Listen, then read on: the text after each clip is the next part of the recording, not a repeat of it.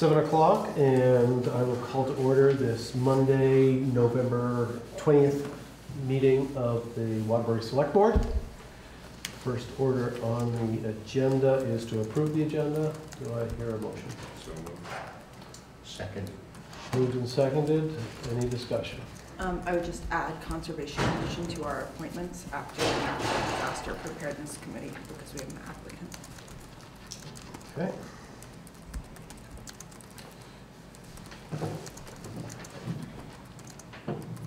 Anything else?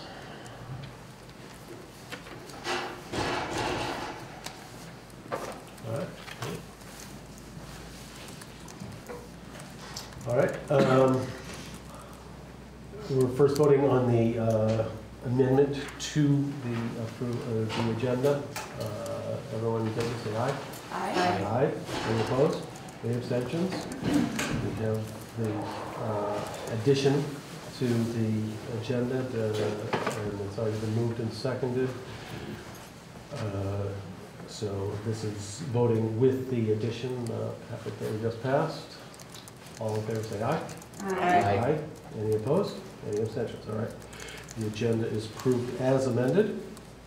Uh, And the consent agenda are the, just the minutes from the last meeting. Do I hear a motion? So moved. Second? Moving seconded, any discussion? Hearing none, all in favor say aye. Aye. Any opposed? Any abstentions? All right. The agenda is approved as well as the consent agenda. Now is the public session uh, for the meeting. Anything not on the warrant agenda uh, can be brought to our attention.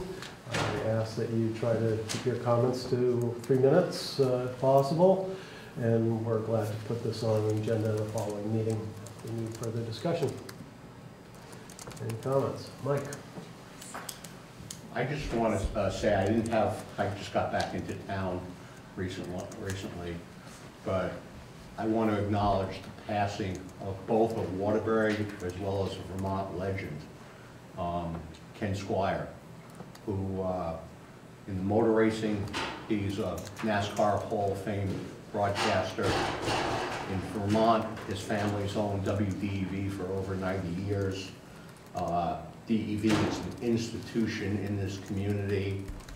Uh, I know, I can't mention the times on Saturday mornings when I would listen to music to go to the dump by, how I would chuckle a little bit. And Ken will be sorely missed. He did a lot of things for the state. He was an ardent supporter of the Vermont Symphony Orchestra, which people will be surprised to hear with his motor racing background, and also Vermont adult basic education. There've been a lot of tributes in the Times Argus and a lot of the media. But uh, I want to thank uh, Ken and the Squier family for all the service they have done for the uh, town of, uh, town of Waterbury. Thanks. Yep. Yeah, thank you. Uh, One of the other things that was uh, noted was uh, how, what a dynamic uh, role WDEV played during uh, Tropical Storm Irene. 30 years, Keeping everyone informed. 30 hours on the air. Yep, yeah, it was, it was impressive. Kenley will be missed. Other comments? All right. Let's uh, move on to the appointments. First one is uh, appointment to the li, of the library commissioner. We have a candidate, Anna Black. Is Anna here? I don't see Anna here. All right. Well, we have Anna's application here in our packet. Um, And uh, she has expressed her interest in joining uh, the library. I believe we have the library director here. Any comments? Uh, no, we're happy to There's Anna. welcome. Oh, here we go. All Yeah, right. good timing. Oh, perfect. We're just uh, entertaining your candidacy for the library commission. Yes, I am pumped.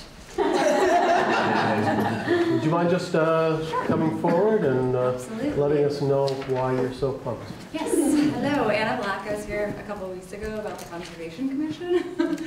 Um, and I had mentioned then, I was like, if it- anyone, anything opens up on the library commission, and then that happened, so I was pretty excited about it. Um, basically, I love reading and love libraries, and we live right across the street, so it makes it convenient. Ah, amazing. All right. Questions from the board? No, I feel like you manifested this moment because I remember you, uh, you know, saying that and, you know, been on your application. So I'm excited for someone enthusiastic to, yeah, to have this opportunity. Uh, While we're here, are you also still interested in the Conservation Commission? I don't know how I many am on the committees you Conservation can- Commission now. Oh, you're already Yes. appointed, well, there you go. Okay. Yeah, Alyssa? Um, Could Karen just speak quickly to what this appointment is for? It was just useful for me to have the background of what, what we're acting on today with this appointment and what the status will be come town meeting. Sure, so Anna, if you choose to appoint her, would be appointed until March, at which point she would have to run for election. Um, There will be two seats available on the ballot in March. One will be a one-year unexpired seat, and the second one will be a two-year unexpired seat. Um, And, and Michelle Baker would, would be subject to that same, those same terms. Should be a regular IB seat too. They're unexpired. Oh, In March, there may also be another full one. Yeah, I think she's. Um, I have some notes about that. well, somebody will have to run for it, whether they, you know, you sign up or not, because it's a five-year term. Yeah, you could be right, Bill. Yeah, I just wanted to clarify what we're acting on today is until Right, town so there's an appointment Um, until uh, the first Tuesday in March. Uh, Deanna King. Deanna King, you're right. Deanna King's term will be Will expiring. be up in March as well. Yeah, Bill's Okay. right, So we have three candidates. in March. All right, so you're still interested, even though the appointment will only last until the first Tuesday in March? Yeah, that's a good trial period. Okay. Um, and an opportunity to potentially make some stickers. Good. Um, If there's no more discussion, do I have a motion? Move to appoint Anna Black in the open position of the Library Commission through town meeting day. Second? Moved and seconded, any further discussion? Hearing none, all in favor say aye. Aye. Any opposed? Any abstentions? Congratulations. Thank you. All right. Next on the agenda is the appointment to the Housing Task Force. And we have uh, Mary Ellen M. Lamson She's on On Zoom. Zoom. on Zoom. All right. There you are. Uh, Would you like to just give us a couple of uh, moments as as to why you're interested in joining the task force? So I just saw that, you know, you were looking for somebody and that part of what they were looking for was someone who's a landlord and or short-term rental owner. Um, my husband and I have both. We just recently, about a year ago, built a new three or a triplex down on South Main Street. Um, building affordable housing is not easy and I, I know that for a fact, but I also know that we do need more housing. Um, but I just feel that with the knowledge I have as far as being a landlord, having the short-term rentals, um, we have both commercial rentals and regular um, residential rentals that I would be a good fit for the committee as far as that aspect of it. Mm-hmm. Great. Questions from the board?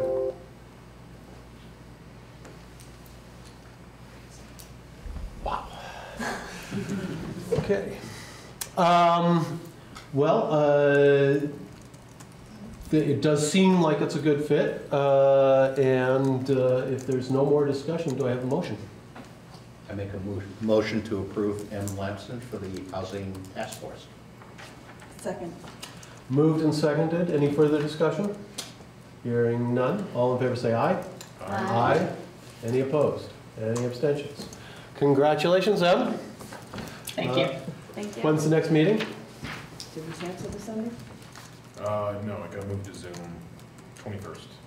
So yes, December 21st. Sometime in December. Yeah. 21st. Third Thursday, so it's the 21st, um, on Zoom at 6 PM. For you and anyone else who would like to join. And we'll I'm let assuming I'll get a Jen- link somewhere before then, but that's fine. I'll touch base. All right, great. Sorry. Thank you. Thank you. All right, congratulations, Em. Thank you. Um, uh, Next on the agenda, we don't have a second appointment for the task force, do we? No. Okay. Um, Next appointment is to the uh, Natural Disaster Preparedness Committee. Candidate is Matt Duggan. Uh, Is Matt here? Matt, would you mind coming forward?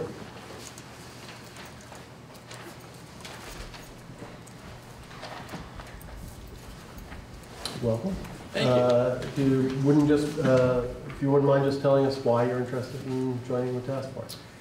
Uh, Not to sound too much like the teacher I used to be at UVM, but um, I tried to explain it all in the cover letter. Mhm. Um, So I- I'm, I'm, I'm I'm not putting you on the spot. Does anybody, have- anyone have questions about that? Because I'm not coming at it from a disaster preparedness perspective. I'm coming at it from a social science perspective. Um, And I've kind of tried to lay that out so that, you know, you'd see that I'm kind of thinking about upstream and how to bring people together and build more community so that we can um, address some of the problems that I saw when I was volunteering this past summer and mucking out and such. Um, I'm not sure how to do that, but I do know how to do research. So yeah, that's why I asked the question. Um, I'm really curious, and what did I leave out? Well, I mean, I think it's in line, just from my own perspective, with what uh, the, the committee is about. It's, it's about organizing volunteers so that we are prepared uh, to set forth uh, better than we have been. Um, But there are others that have been more directly involved and may have more questions.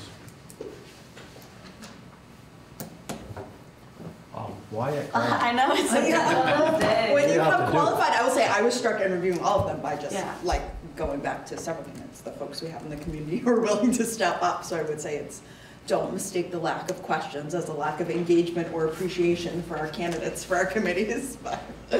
Sure. You have a very extensive background. Yeah, and don't, don't, don't, don't uh, mistake my lack of wanting to, I mean, I know, I can talk all day long, right? If you- When you're in academia, that's what you do, and you, then you bore We're paid for it, and but we're not they paid don't for it this time. want to hear you anymore, so, but thank you for saying But that. it's, it's in- really important that you could, you would be great to communicate the message for um, preparedness. Mhm. All right. Any further discussion? Do I have a motion? I move to appoint uh, Matt Duggan, Doug Dugan? It's Dugan, thanks for asking. Dugan. Yeah, Matt Dugan. it's really a toss-up. The uh, National, the Natural Disaster Preparedness Committee. I'll second the motion. All right, moved and seconded. Any further discussion?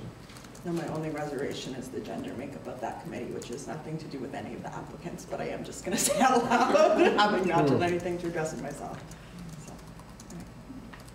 So, Okay, well, I don't think he's gonna do much about that one. No, I We could just felt like I had to say it. It's all men? Yes. So, that's so interesting. Uh-huh. Because women are taking over the world, as I used to notice, and I'm all for it, so So that's, that's, I mean, I that's think odd. a lot of the women who were originally, not to make it, but a lot of uh, folks who were originally helping out were gravitated towards the crew, the, Yes. um, the committee that was formed like right after for other different positions. So I think like some of the folks who might be interested are uh, overextended maybe at this point, but it's good to keep in mind. I went through today the list of uh, what I have for volunteer hours as part of the FEMA reimbursement for the people who assisted post-flood, and substantially, um, majority of the hours were done by women. Mm. Okay, we'll share, different time, different Yeah. seasons. And I just have to say, I'm fascinated by your video interface. I'm trying, been trying to figure it out since I got here. How do we have? It's the audio. So that's was my, and does that track voice? Yes, by yeah. any chance? Yeah, when it works. Okay. Well, Don't take up all your time, but, uh, No Okay, offense. so- but what you said with me. Hmm? Yeah, we'll vote. Yeah. Uh, yeah, I think that's enough. Uh, Any more discussion? Hearing none, all in favor say aye. Aye. Any opposed? Any abstentions? Congratulations, Mr. Dugan. Thank you, and thanks for all that you folks do. Appreciate it. Thank you. Thank you. And now round it out. All right. And next on the agenda is the appointment of, to the Conservation Commission. And this is a late appointment, so I don't know if they have the paperwork. Uh, Oh, here it is. Malachi Brennan. Good evening. Come on down. Sorry for the late. Did I catch the name correctly? Yes, no, yeah. All right. All right, if you wouldn't mind just letting us know why you're interested in joining the Conservation Commission. Sure. Um, so I, um, you probably haven't had much of a chance to familiarize yourself with my materials, but I've studied um, trees and kind of forested communities for a lot of my life, and also just kind of selfishly get a lot of relaxation um, and kind of moved to this town for outdoor recreation as well. Um, but I spend a lot of my professional time now um, kind of focused on climate change issues and um, environmental issues. I'd like to spend a little bit more of my uh, personal time and, and time involved with the community doing that as well, kind of getting to know the, the area a little better. Mm-hmm. All right. Questions from the board? Have you had the opportunity at all to um, uh, listen in or attend any of the Conservation Commission meetings at all? Uh, not live. I Mhm. went back and looked through Oh, cool. some of their agendas and just kind of tried to get a sense for what they do. Mike? Which law firm do you work for? It's, um, it's called SRH Law, uh, it used to be known as Dunkiel Saunders. Okay. Because it sounds like that's a lot of applicable things to what the Conservation Commission does. Yeah, yeah, I, I guess I, I call myself an environmental lawyer. I think that's pretty accurate. That's what I spend most of my time doing. Thank you. Right. Well, once again, it does appear that we've got a good fit. Uh, Any further discussion? Hearing none, do I have a motion? I make a motion to approve, is it Malachi? Yep, that's right. Malachi Brennan uh, for appointment to the Conservation Commission. Did we discuss terms? Yeah, maybe we should just find out, but uh, for a term of what? Well, there's a open seat that ends in 2027 and an open seat that ends in 2026. Do you have a preference? I guess I, I don't have a preference. Um, Go and help us out here. Signing up for the long haul, like 27. Want to go longer? Yeah. Okay, 27? So, So that, that change duly noted in my motion. I'll second. Moved and seconded, any further discussion? Hearing none, all in favor say aye. Aye. Aye. Any opposed? Any abstentions? Malachi, welcome to the Yeah, thank you very much. Okay. Now, uh, I think we're done with uh, appointments. Yes. Okay. Uh, Next on the agenda is the restorative justice. And uh, I'll just note that uh, we had uh, Lieutenant uh, Wynn in talk with us uh, a couple months ago. Um, And uh, when asked about concerns, uh, he mentioned uh, that uh, there were youth uh, that were up at all hours of the night that was concerned about, asked us to consider a loitering ordinance and/or uh, putting up cameras in public areas, which we have not acted on. Um, It is in our parking lot, but uh, we thought that there should be some further consideration of this, and and part of that consideration was about what's happening with restorative justice uh, in terms of youth and public safety. Um, And so uh, we've been able to contact uh, the director of the Restorative Justice Center in Montpelier, as well as um, Jane Willard, uh, who's been serving on the uh, panel. Um, So if we could have uh, Carol Plant come forward and explain how the restorative justice is, is working. um, And then also you can call on Jane and others as, as you you see fit. Well, I'm sorry Yeah. to interrupt. Before we continue, just for the record, I want to make a note, and I think it just came out wrong, but when the Mhm. lieutenant was here, he didn't suggest um, cameras and loitering ordinances. There were just parts of tools that he offered as things that exist, could be done, that we could talk about. So I just want to, for, you know, minutes or record, it wasn't what he was trying to tell the town to do. Um, They were just, as we just asked about options, they were things that he mentioned that could be a possibility or something to think about. Um, Good point. Thank you for the clarification. So uh, Carol Plant, I'm the director of the Justice Center in Montpelier, and we serve um, the whole western, sort of southern part of um, Washington County. And we have our own panel that serves Waterbury, so it's all volunteers from Waterbury. Jane is one of those, she's been on the longest, is- I think. Um, Ten years. So in terms of whether it's going well, I would say yes. Um, So we get regular referrals from our partners, Vermont State Police. um, And, you know, that it's an opportunity, especially for youth, to identify what they understand the harm to be by what they did, the actions that they took. And this is all pre-charged, so it hasn't gone to the state's attorney's office. Sometimes the cases go to the state's attorney, and the state's attorney might send it back to the trooper and say, why don't you try a restorative process? So it comes to us either way. And then really the panel implements this process where um, people are asked to address the harm, who's harmed, how are they harmed, what do you need to do to fix it, how is your community impacted, and what are you gonna do to make sure something like this doesn't happen again?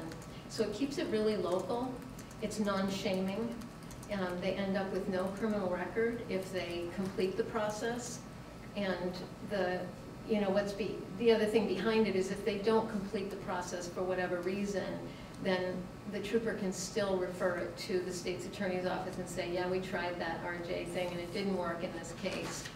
And then the state's attorney can make a decision about where it goes from there. Um, So, I don't, Jane, do you want to speak to some of the benefits that you notice about, with youth especially? Certainly. I don't think that we have had um, a large number of youth in the program. And I think earlier on, uh, many of the referrals went to the diversion program. And so, and, and their uh, primary population was juveniles. But of late, we, we, we've had some very serious cases. And um, the beauty of the program is that um, the person, um, we don't say offender, we say responsible person, and the person who has been harmed, we refer to as the affected person. So um, in the case of the juvenile who may have offended, and um, I can see the need maybe for an ordinance, um, uh, if, if the offense is not um, a charge or a, uh, what, whatever the, term is. Um, I have a little concern about that, but we've always hoped in the restorative justice process that we would get direct referrals from the troopers in the area. Basically because we can invite the trooper, um, the parent, guardian, um, the responsible person into the process. And so there is that opportunity to say what happened, why it may have happened, um, what the outcome could be. Um, and we've often not, we, we read the affidavit if it's, um, if it's referred to us from the state's attorney's office. But actually, it's really, really important for us to hear it from um, the person who maybe has been affected by noise or whatever it is. Um, we have on occasion had troopers participate and it's been incredibly valuable um, and very meaningful. And certainly the juvenile and um, the parent guardian has information. So the process, I think, um, is the best chance for the community to be involved. Um, and um, I, I think for, there would be a less likelihood of reoffense. Um, People get to tell their stories. All of the people involved get to tell their stories. And then when an agreement is made, everyone has input, primarily the person who has created the harm. Um, My question would be, if it's an ordinance, and um, Carol has um, drafted ordinances for the city um, of Montpelier. I haven't drafted them, but I have contributed Oh. and said it's okay to put restorative justice as an option in your ordinance. So Yeah. I've done that, but I've not drafted an ordinance.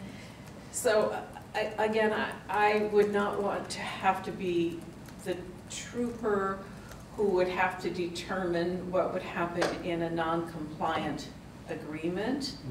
Um, uh, I'm sure the kids will all talk if there's been non-compliance and no uh, real um, consequence perhaps.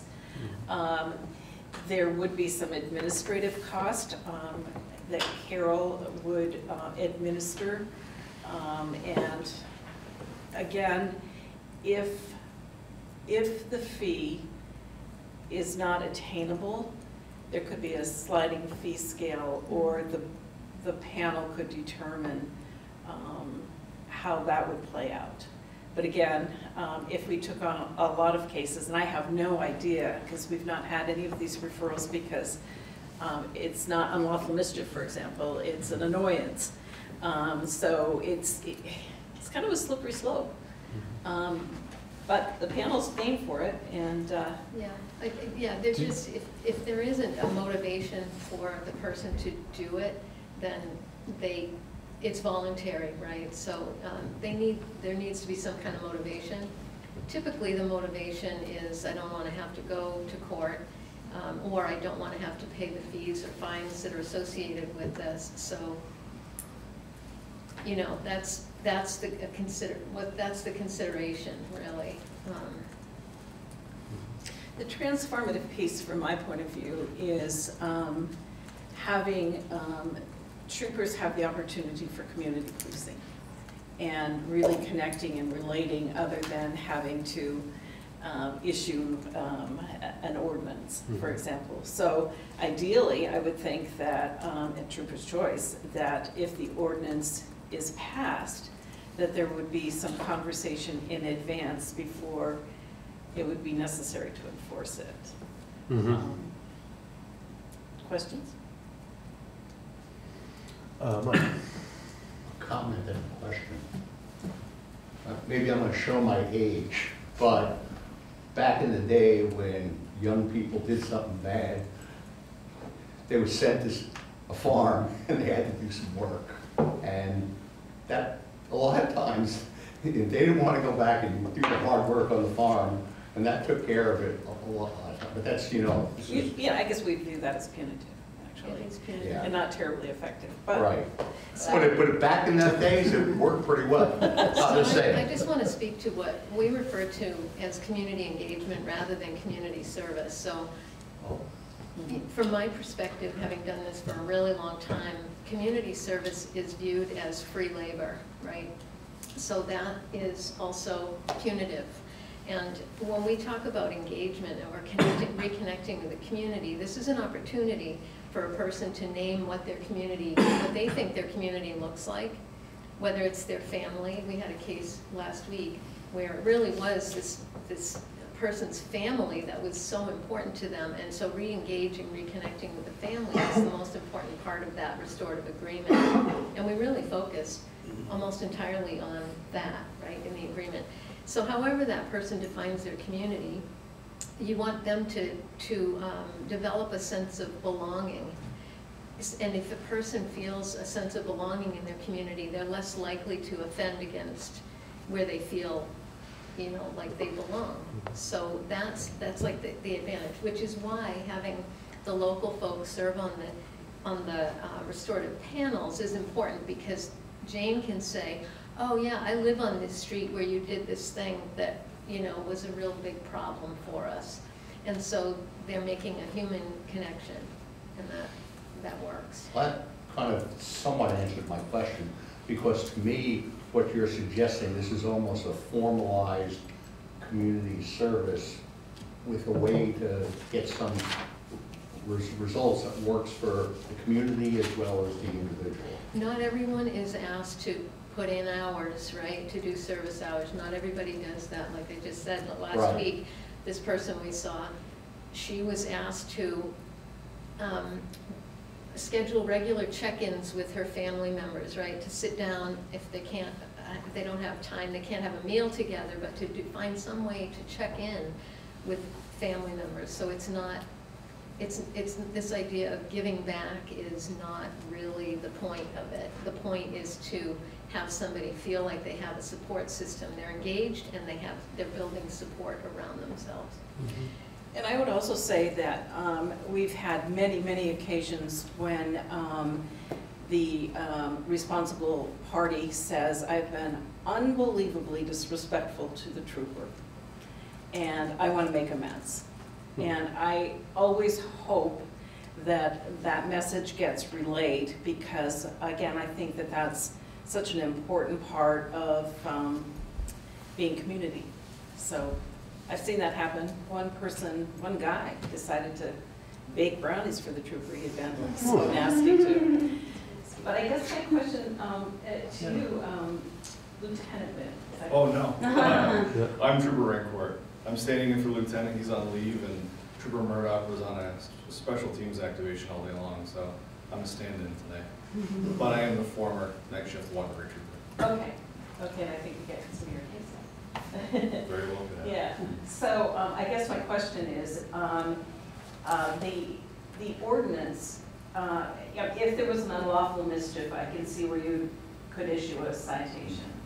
But if it's like a noise complaint that really isn't probable cause to issue the citation, how, how do you think So with any ordinance, it has to have teeth. Excuse me for interrupting. Would you mind coming forward because we can't catch you on the microphone? Forward, either one works.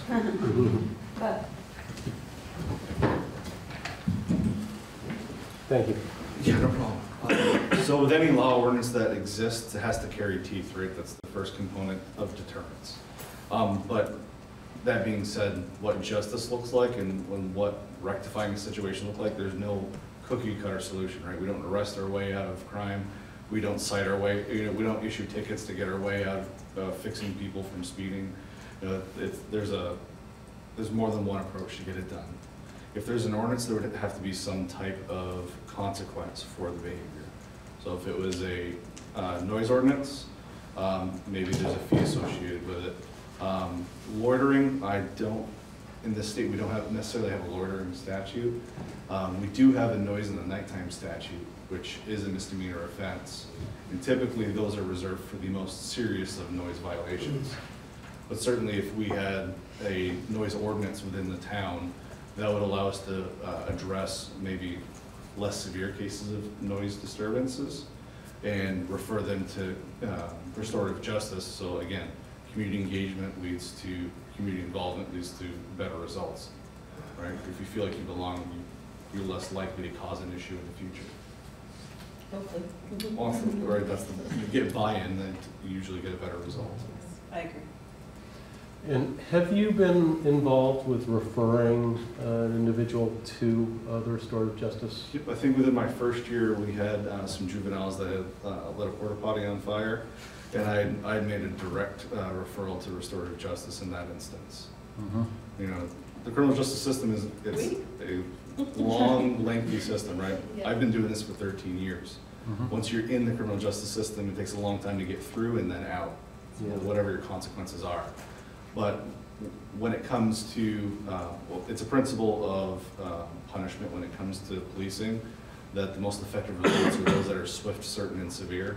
Severe is not always the best result, but if they're swift and certain, where we have kids, you did something wrong, there's a consequence for that, well, let's teach you why it was wrong. Mhm. And let's get you to buy back into the community and have a better result. Like the harm you caused did this, to this, to the, the company that owns the porta potties. You know, they cost th- this amount for them to replace it, Mhm. for the choices that you made. And I'm using one example. Yeah. Um, But if instead, you know, we push them through the entire criminal justice system, by the time that there's a consequence or a realization of wrongdoing, there's so much time that's elapsed. Do not, I- I doubt you get the better result from that. Mhm. That's been your experience? Because they forget, they forget, they have. I barely remember what I had for breakfast Sunday. Undeveloped brains, right, yeah. I think with um, the direct referrals, um, they're much more expedient because they don't go through the court. And I, I believe your conversations with the state's attorney has been, could you just please take care of it? We're not, you know, our, our courts are clogged, et cetera, et cetera. And if there is um, compliance um, to the agreed upon agreement, uh, then there's, there's no, um, uh, you don't get a, A punitive punishment. yeah. Yeah. I geez, I, I'm trying to think of the question. I would like to express my support for restorative justice. It is my belief that kids, when having violated their community's trust, are severely punished. They are definitely uh, more inclined to reoffend as adults, feeling like they've been pushed around by the system and forgetting what put them in the system in the first place. Um, The reference of being sent to the farm, we definitely used to do a lot of things we don't do anymore. Um, How long did you have to stay, Mike? I spent my time on the phone. Did you go to the farm? That's what I was wondering. Um, I guess, I guess my, my, my biggest question, my biggest follow-up question, I guess, is for the board. Are, are we of the mind that, and having, having a meeting with restorative justice and having had police sit with us uh, now on two occasions, or three now, is it two or three? Multiple occasions. um, Are the, are the, the mischief that we're experiencing in Waterbury from youth enough to elicit a response where we need to start talking about referring people to the justice system at all, or is it just a nuisance? May I answer, or my opinion? Um, I think, I don't know about ordinances and getting really niche and specific, and maybe we do, and that's something I think to have really serious conversations about. But because the incidences were varied, they weren't always noise, they weren't always vandal, there was a lot of vandalism. Um, there was severe violence, there was, um, really, there were hate symbols, um, included, you know, included in that vandalism. And it is not just, I mean, being out late and playing loud music, which for some people feels very serious, so I don't want to take that away, but it was causing deep harm, both physical, mental, and emotional, um, and financial. So whether it's creating ordinances, I'm not sure, but I think it's having these conversations to say like, something is not well with some groups, and it's, I mean, it's not just kids, but that happened to be, it was young people during that, those incidences. Something isn't going well, and they need help from someone to move in a better direction, and for the community as a whole to feel more connected and safer. And so I think the connections, having the conversations, having the troopers know that we support this type of avenue, are talking about how do we push more in the direction of RJ um, for when things like this come up, I think, I think it does necessitate the conversation um, from my, even just my personal experience, but then also from what I've heard, you know, as a board member. So um, for me, it's really just talking about like, how, how do we help involve more, um, you know, restorative justice as we go forward, and how do we help, you know, support the troopers who are answering these calls and, you know, let them know what our priorities are and hear from them what their experience is. Yeah, if I recollect, uh, when we were talking with uh, Chuck Wynn, Lieutenant Wynn, um, he was saying, he wasn't sure if he had a role without an ordinance. Mhm. Right. Uh, Mhm. And, you know, you It's an see, impetus for us to act. Hmm? Right. So it crea- it creates an avenue for us to engage if those, those types of quality of life issues that we can address directly. Otherwise, I mean, for me to just stop a group of, in- of young kids that are out just Right. being kids, we're essentially walking down the path of a Fourth Amendment violation. Right. Right? They have the freedom to move just as anybody else. And that's my concern, is that we ordinance our way into a Fourth Amendment violation. Um, Mike, What would be like a high-level bar of offenses that this could carry? And the second question is, we keep on just referring to all youth. There are adults who, you know, you know, they might not get into trouble, but, you know, because of different circumstances, you know, losing jobs and whatnot, you know, they could be in a bad way. Are those, like, I, I assume that type of candidate would be a good person Yeah. for restorative justice as well. Oh, yeah, we take people of all ages. So it's not The just youngest. I've ever dealt with was nine, a nine-year-old.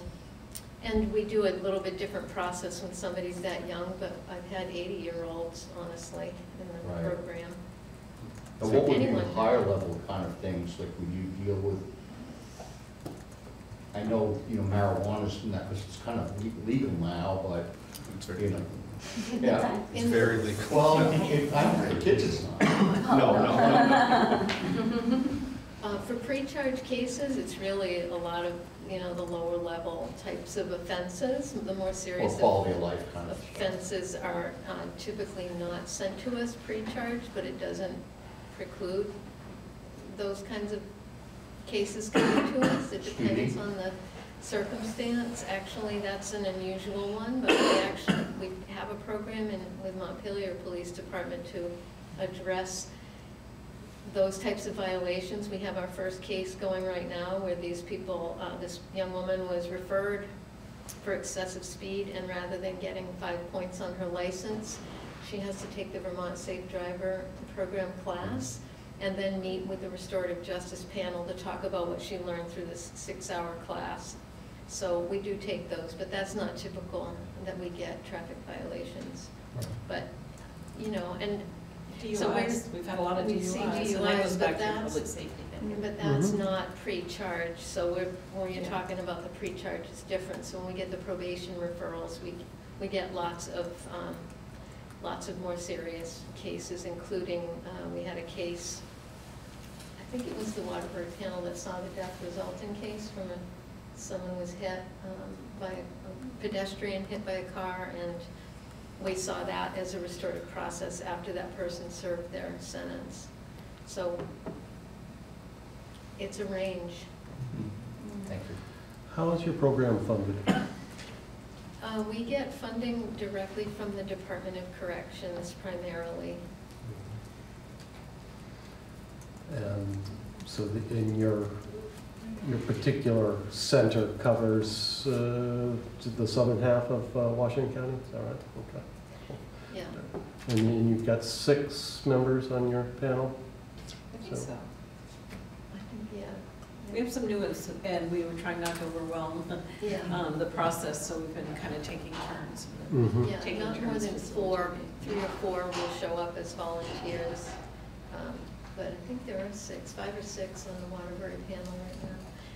But the Waterbury panel also typically will serve uh, Waitsfield and, Waitsfield and Warren cases as well, so. um, And we have, we have three panels in Montpelier that meet, one in Northfield and one in Waterbury. So we have a lot going on in our center, but Mhm. um, we're always open to talking about taking referrals. Um, So in your opinion, what would make it, what would help you get more referrals, make Waterbury a safer place?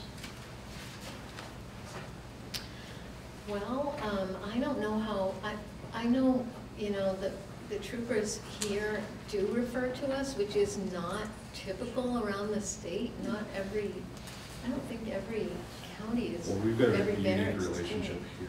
Right. We- Yeah. We've got troopers specifically assigned to Waterbury, which is, Oh, which is okay. different in many other communities.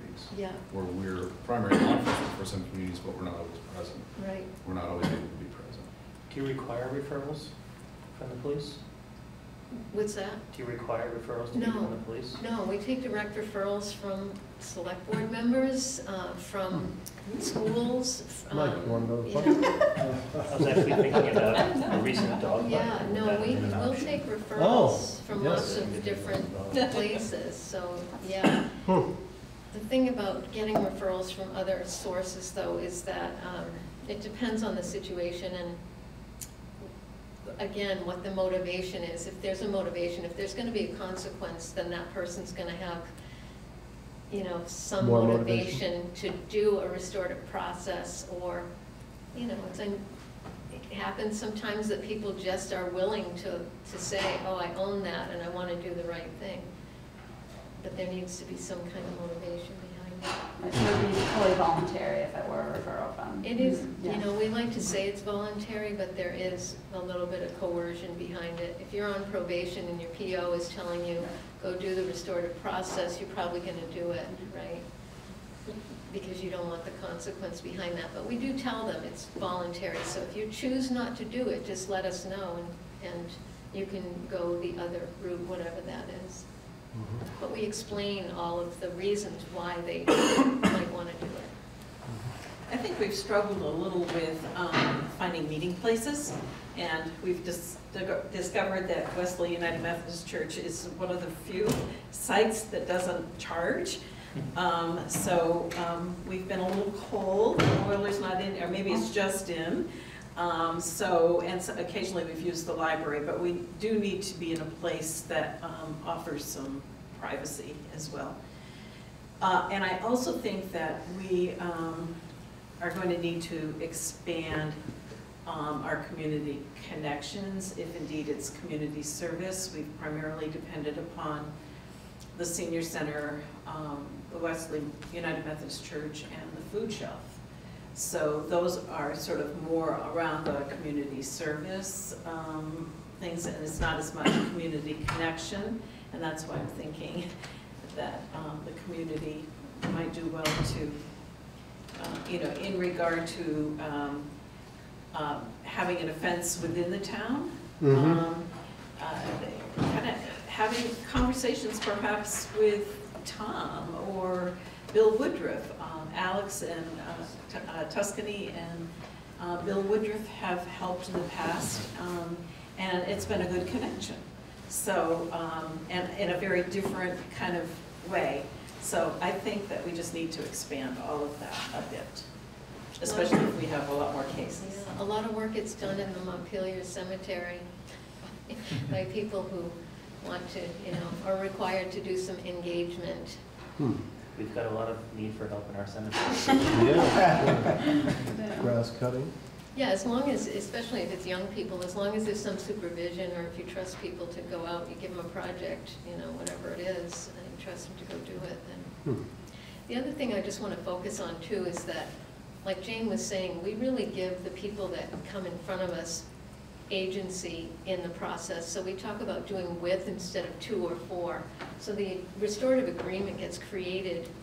We ask the- the person who's responsible for the harm to make the suggestions about what they think they should do, which is, um, which is really helpful because it, it, you know, that kind of, um, it's not educating them, it's them doing some self-discovery around what they understand the harm to be and what they think is important, and that helps them build empathy and see themselves and their community in a different way. So it's, it's a lot like magic, and um, it is very transformative when people get together and they feel supported, and they feel like you know, the people, the strangers, because they're meeting with a group of strangers, and the strangers sitting there with them actually act like they care about them, and they do care about them, because they volunteer, people like Jane volunteer because they want their community to be a better place, right? Because they care about the people that live here.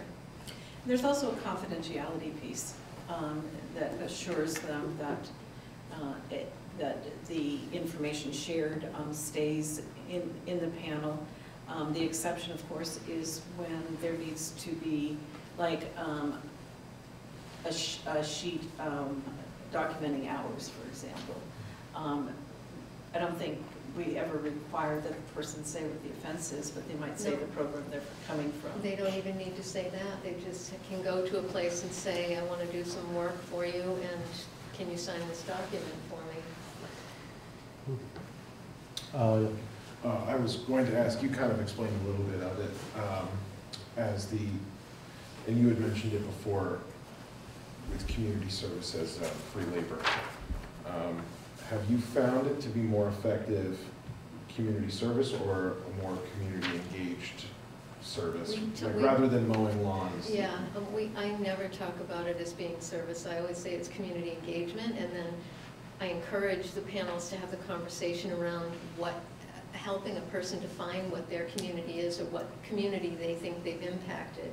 Like I said, last week, we met with this young woman, and she, it was all about her family as her community right now. That's the place where she gets the most support, so that's where she's doing some engagement, is with her community.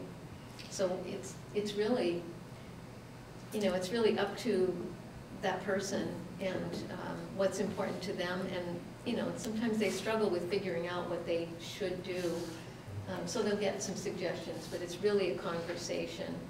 One of the opening questions in the introductions is, um, tell us a little bit about yourselves and, or yourself, and what are you really good at? What do you really enjoy? And so we have that piece in our, our heads. And so when it comes to the, the place of community connection, what is it that you might be passionate about doing to help? Um, And it's fascinating, but at least they're invested in what they think that they would like to contribute. Sure. It's, that's the magic piece for me, is when we start the whole process. Right. And we really want to know about you. We want to know what you, what you love to do, what, what you're great at. Sure. Mike? Does it ever work with um, the youth build program? No. Might be something that would be, I know I used to be a mentor in that program. It's kind of for troubled youth. Uh, It get- gets them, they have a program where they do a lot of building, kind of like Habitat for Humanity. And it gives them some skill training, but again, gives them a lot, they work with a mentor and gives them some self.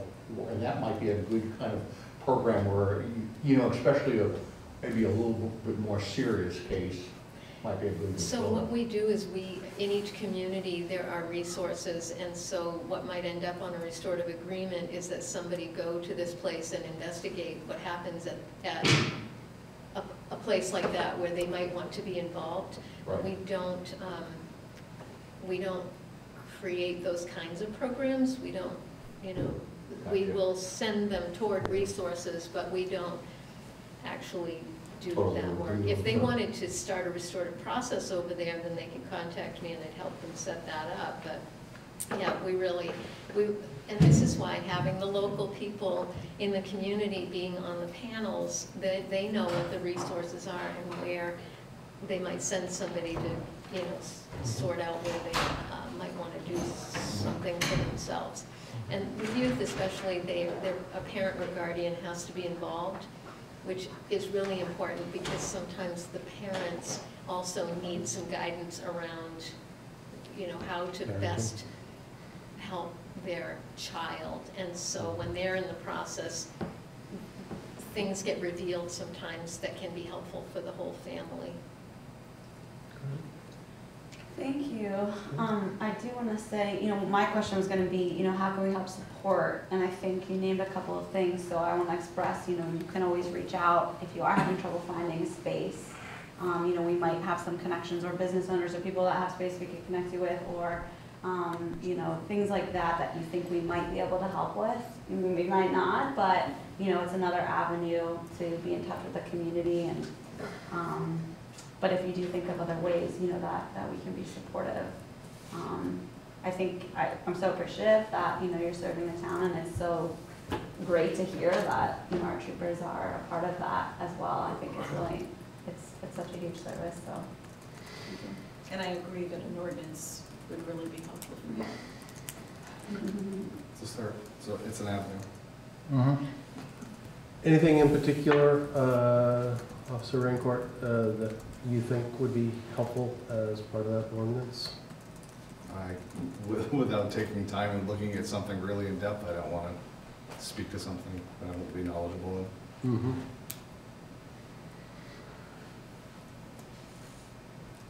Just thinking about next steps, um, if there's a sample ordinance uh, that you've had experience The- with the that's been ordin- helpful? The ordinance, there's two ordinances in Montpelier that name restorative process, and it's the dog ordinance, and then there's um, a public drinking ordinance, and so the restorative process is named at a certain place within the dog ordinance. I don't know exactly where it is. I mean, we, we do those cases every once in a while, um, not a lot of them. Um, But those are the two places that I'm sure of. The public drinking one, um, not been successful so far because most of the folks who are getting those citations are um, unhoused and have no mailing address. and most of the time don't have a phone that works, so there's no way for us to be in touch with them. So as much as we'd like to help, it's, it's not been, that's not been a, a helpful process. Yeah. All right, well, thank you again for coming. We'll uh, continue to keep close eyes on this and see uh, how we can help you move forward. Appreciate your- your time. Thank you. Next on the agenda, we have the Waterbury Skate Park Coalition. Would you to come forward? Sure. So if we have a presentation, can I already stand by? Uh, yeah, work it out with the technician. Do we have any idea? Bring a chair. You it can't work? borrow an HDMI. Join and You can join on the Zoom and screen share. I can e- even email it to you really quick. I don't, I can't do that either, I don't have email on this. Can you join the Zoom? And then we can send out the I wish you told me before. Okay, we'll figure it out. We are. Oh, yeah. That's all our Four seconds. And then, modern technology. all right, while you're working on that, not that far. wouldn't mind introducing yourselves. Oh, uh, yeah, Tammy's on uh, Zoom.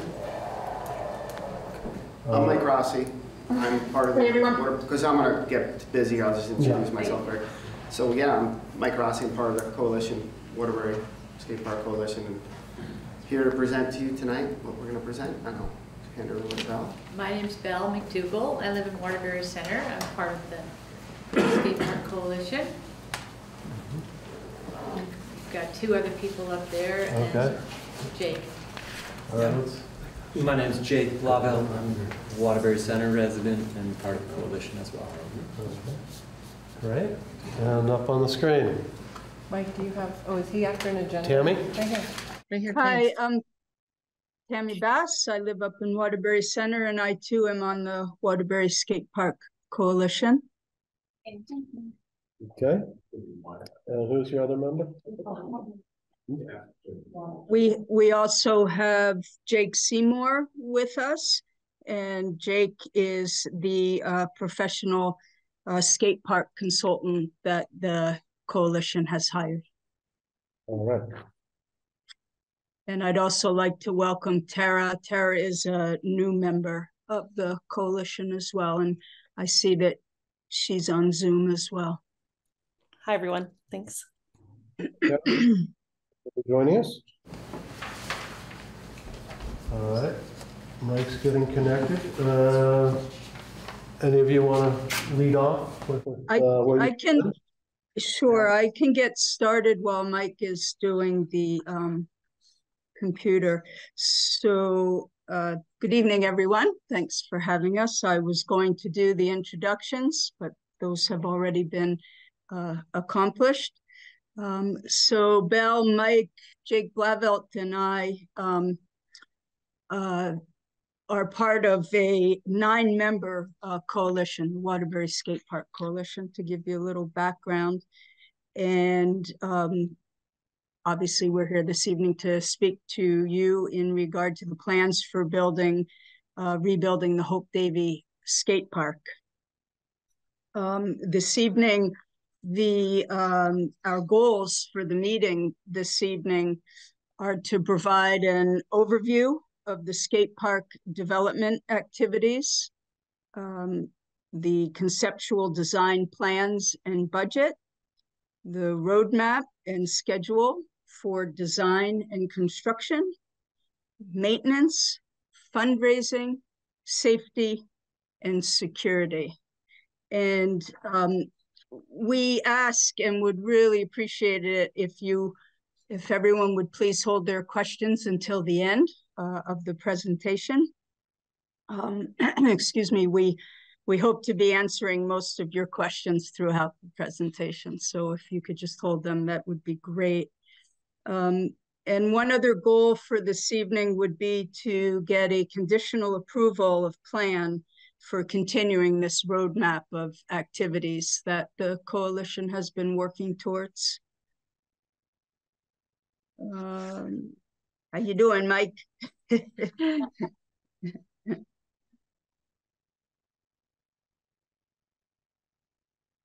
I guess I can continue so we don't uh, lose time here. Uh, the next, we, we have a slide deck that Mike is, I, sounds like he's working to get that up there. So uh, I'm going to just speak in regard to the, um, the overview of the skate park development activities, give a little history uh, of what's been transpiring. Um, as most of you know, the Hope Davey Skate Park was deconstructed this past October. Um, we really, we being the coalition and a handful of volunteers came out on a Sunday and uh, it went very well with the help of the town as well with town trucks. We took the whole skate park apart. Um, we prioritized Hope Davey because of the safety, for safety reasons. It was um, getting old. That skate park has been there for 12 years, if you can believe it or not. And uh, we decided to, to put our focus into Hope Davey, uh, one for decommissioning and two for rebuilding a really well-loved and used skate spot. Um, as I said, 12 years, it's been going strong. And we just um, really do not wish to leave a hole both in recreation and uh, or physically at Hope Davey's without a skate park. So we're looking to rebuild uh, next spring, as soon as next spring, to get a new uh, concrete skate park uh, in place of what was a wooden skate park. Um, wooden skate parks only live a certain amount of time. 12 years was a pretty good run for the wooden one that was at Hope Davey, but it has come to an end. Um, so we're looking to increase the surface area of the actual uh, asphalt area that is currently there is 4,000 square feet. And we're looking to increase that area to 6,000 square feet. Um, uh, the uh, this would be to increase the size of the skate park by 2,000 square feet and to continue to allow for a basketball court to be there, um, which will continue to be 2,000 square feet. Uh, we, the coalition, has uh, met with the rec committee uh, along with the rec director, Katerina. We've met with them numerous times. Um, it's been a pleasure working with all of them, and uh, they have um, given us the backing for our goals for this expansion, um, along with town goals that we've been working in sync with um, in regard to the master plan, um, i.e. parking. Um, as I mentioned, the basketball uh, court is will remain. We feel that's very important uh, as, as, as well as an ADA path and um, horseshoes. All that goes on at Hope Davey. Um, and so uh, we feel that this is just in sync with the master plan and um, would hope to be able to just increase the square footage. It um, brings us out into the grass 40 to 50 feet roughly. Um, so uh, we have um, we've learned a lot in the last four years that the coalition has been together. We've uh, educated ourselves and, and learned a lot about concrete skate parks. Um, as you know, we're working towards a larger skate park, hopefully down the road, but we have refocused on Hope Davey. Um, and but through all the four years of our learning and experience really has helped us put together uh, what we feel is um, no pun intended concrete uh, um, process of going forward with this. Um, so moving on to the design and budget i give you mike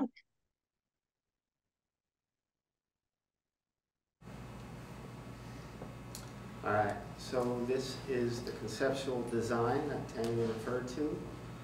So we had Jake Seymour, our contractor for the skate park design, put this together.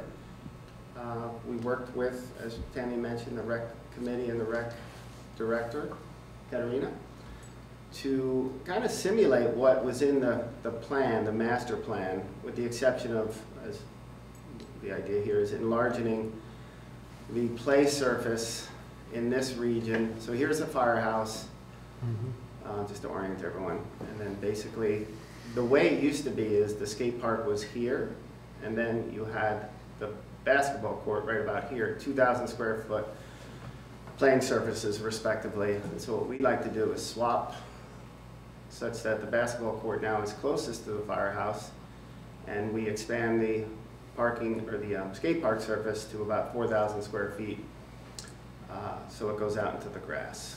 Um, But it will also accommodate the ADA path.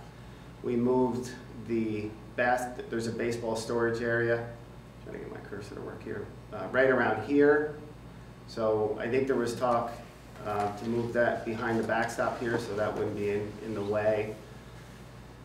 Uh, This parking surface is probably not gonna happen the way it's rendered here, because I don't think we want a a impervious surface all the way out into the grass like that, so that's my bad for not telling um, Jake Seymour about that. I think this would be gravel if it did expand, or engineered grass if, if there was an expansion of the uh, parking surface. But yeah, I think that's, that's probably all you need to say about that. That's a a nice rendering. Again, it's consistent with the, the master plan with the exception of expanding the play surface there. The parking. The parking and the play surface that we we are going out into the grass. Yeah. All right, so on to budget here. So the, the the table here, I won't go into the, each of the line items, but the, this is basically a construction budget for a skate park that Jake Seymour has put together for us. Um, About 132K worth of materials and labor uh, is all cooked into this, uh, those costs per, per line item. Um, And then what we also have is a little buffer here for the design, the permitting, and site prep. And we're still working through what, uh, my next slide talks about what that might look like, but that's about 40,000 extra dollars to get through those stages. Uh, So the total estimate is roughly 173. We have raised about 97 so far. Uh, 55 of that has just been recently pledged by a single donor, so that's great. Um, Blauvelt Banks, Jake Blauvelt here to my left, he's been running this great uh, skateboard event, or snowboarding event at Bolton. It raises roughly $15,000. It goes up every year, so maybe that number is going to increase. But that'll be nice. So the delta, when you add up what we expect to raise by about March, is about $61,000. So, and, and and Bella's going to touch, talk a little bit more about the, the fundraising activities. And also, I just want to make, you know, part of these parks, what, what a lot of the parks do is they reach out to the community and they look for in-kind donations for either materials, lodging, uh, labor. Uh, I know my son's coming home from college next summer and he, we're going to put him to work on this thing possibly. So I think, yeah, uh, just some community donations are always helpful when we, when we get into uh, financial aspects. So next is the roadmap and the schedule for the design and construction. And I'm working with, again, someone who's done this quite a bit, um, Jake Seymour. If, if you have any questions about maybe some of the sequencing and, uh, you know, some of the logistics around some of these steps, I think Jake will be able to answer them. But basically, the hope is to improve the conceptual, the conceptual design here uh, for, for one or more of those elements that we showed by December, uh, so next month. And then finalize the design and get an RFP out to skateboard construction uh, you know, contractors uh, by January. And then select that contractor by March, so two months to turn it around. Um, Permitting and compliance, right now, my understanding is, you know, there's a stormwater permit that we have to talk to the town, uh, Bill Woodruff, about whether or not that's needed, depending on, you know, his, his thoughts on the matter. And then the conditional use permit, the DRB, a hearing, we've, we're, we're, you know, we'll, we'll get before those folks, present our case again, um, and see how we do through that. That's, we're on the, we're on the schedule for December 6th. And then we finalize the budget by March 2024. Uh, do some site prep, May, June. and construct next summer, the middle of the summer, June, July. That is the goal. Um, yeah, I think one of the things I do want to bring to the forefront here is, you know, so, so it's not, you know, miscommunicated, is when the RFP goes out, it'll be the RFP from the town, because the town will own this asset. So we, we are also asking, you know, some coordination with the town to help, you know, basically put your letterhead on an RFP that we will write, but I imagine there's some contracting, bonding, you know, there's some, there's some other stuff that we need to make sure is in that RFP, so it's done legitimately, and the contractor is legitimate, you know, that we select, uh, and is capable and all that, so. All right, so moving on to maintenance and fundraising, I'm gonna hand it over to Belle. Okay. So, um, what I wanted to do is go over on what we might be expecting for maintenance costs. Um, the uh, information that we have been uh, working to get has been by talking to other skate parks and facilities managers at um, three or four skate parks in Vermont. And basically, they confirm that although we won't need much maintenance in the beginning, in the first three to five years, we'll have to do annual um, maintenance uh, with um, a, a sealant on the surface, and we'll have to um, look for small areas that are opening up um, in the cement. I have a few pictures there for examples that I took last weekend in Portland, Maine, just to show you guys what we're talking about. Um, and um, sometimes there's tagging um, and graffiti, and you have to spend money to, you know, remove that. And they have a product that's basically, uh, it's like a vapor barrier product that you would put on the surface so that it does, the paint doesn't uh, get absorbed into that permeable surface. Um, The other expenses relate to um, just routine park maintenance with garbage removal, um, landscaping, mowing, weed whacking, and that kind of stuff. Which shouldn't be that different from what, what we've had out there the last 12 years, um, except better. Um, The good news, as Mike said, is our short-term fundraising um, is going really well. Um, We have $42,000 in our forward bank account. They're our fiscal agent for fundraising. And we have $55,000 in pledges from donors who wish to re- remain anonymous at this point. Um, And so we hope that that grows. Um, The, uh, what we hope to do is, is, what we plan to do is kick off a capital campaign in, in January and hope to raise around sixty thousand dollars, um, you know, by June first. And the way we hope to do that, and we really haven't even started doing this yet, is to reach out to our community, our local businesses, uh, companies in our, in our town, in Stowe, and in our region, to see if they'd like to contribute um, to the park.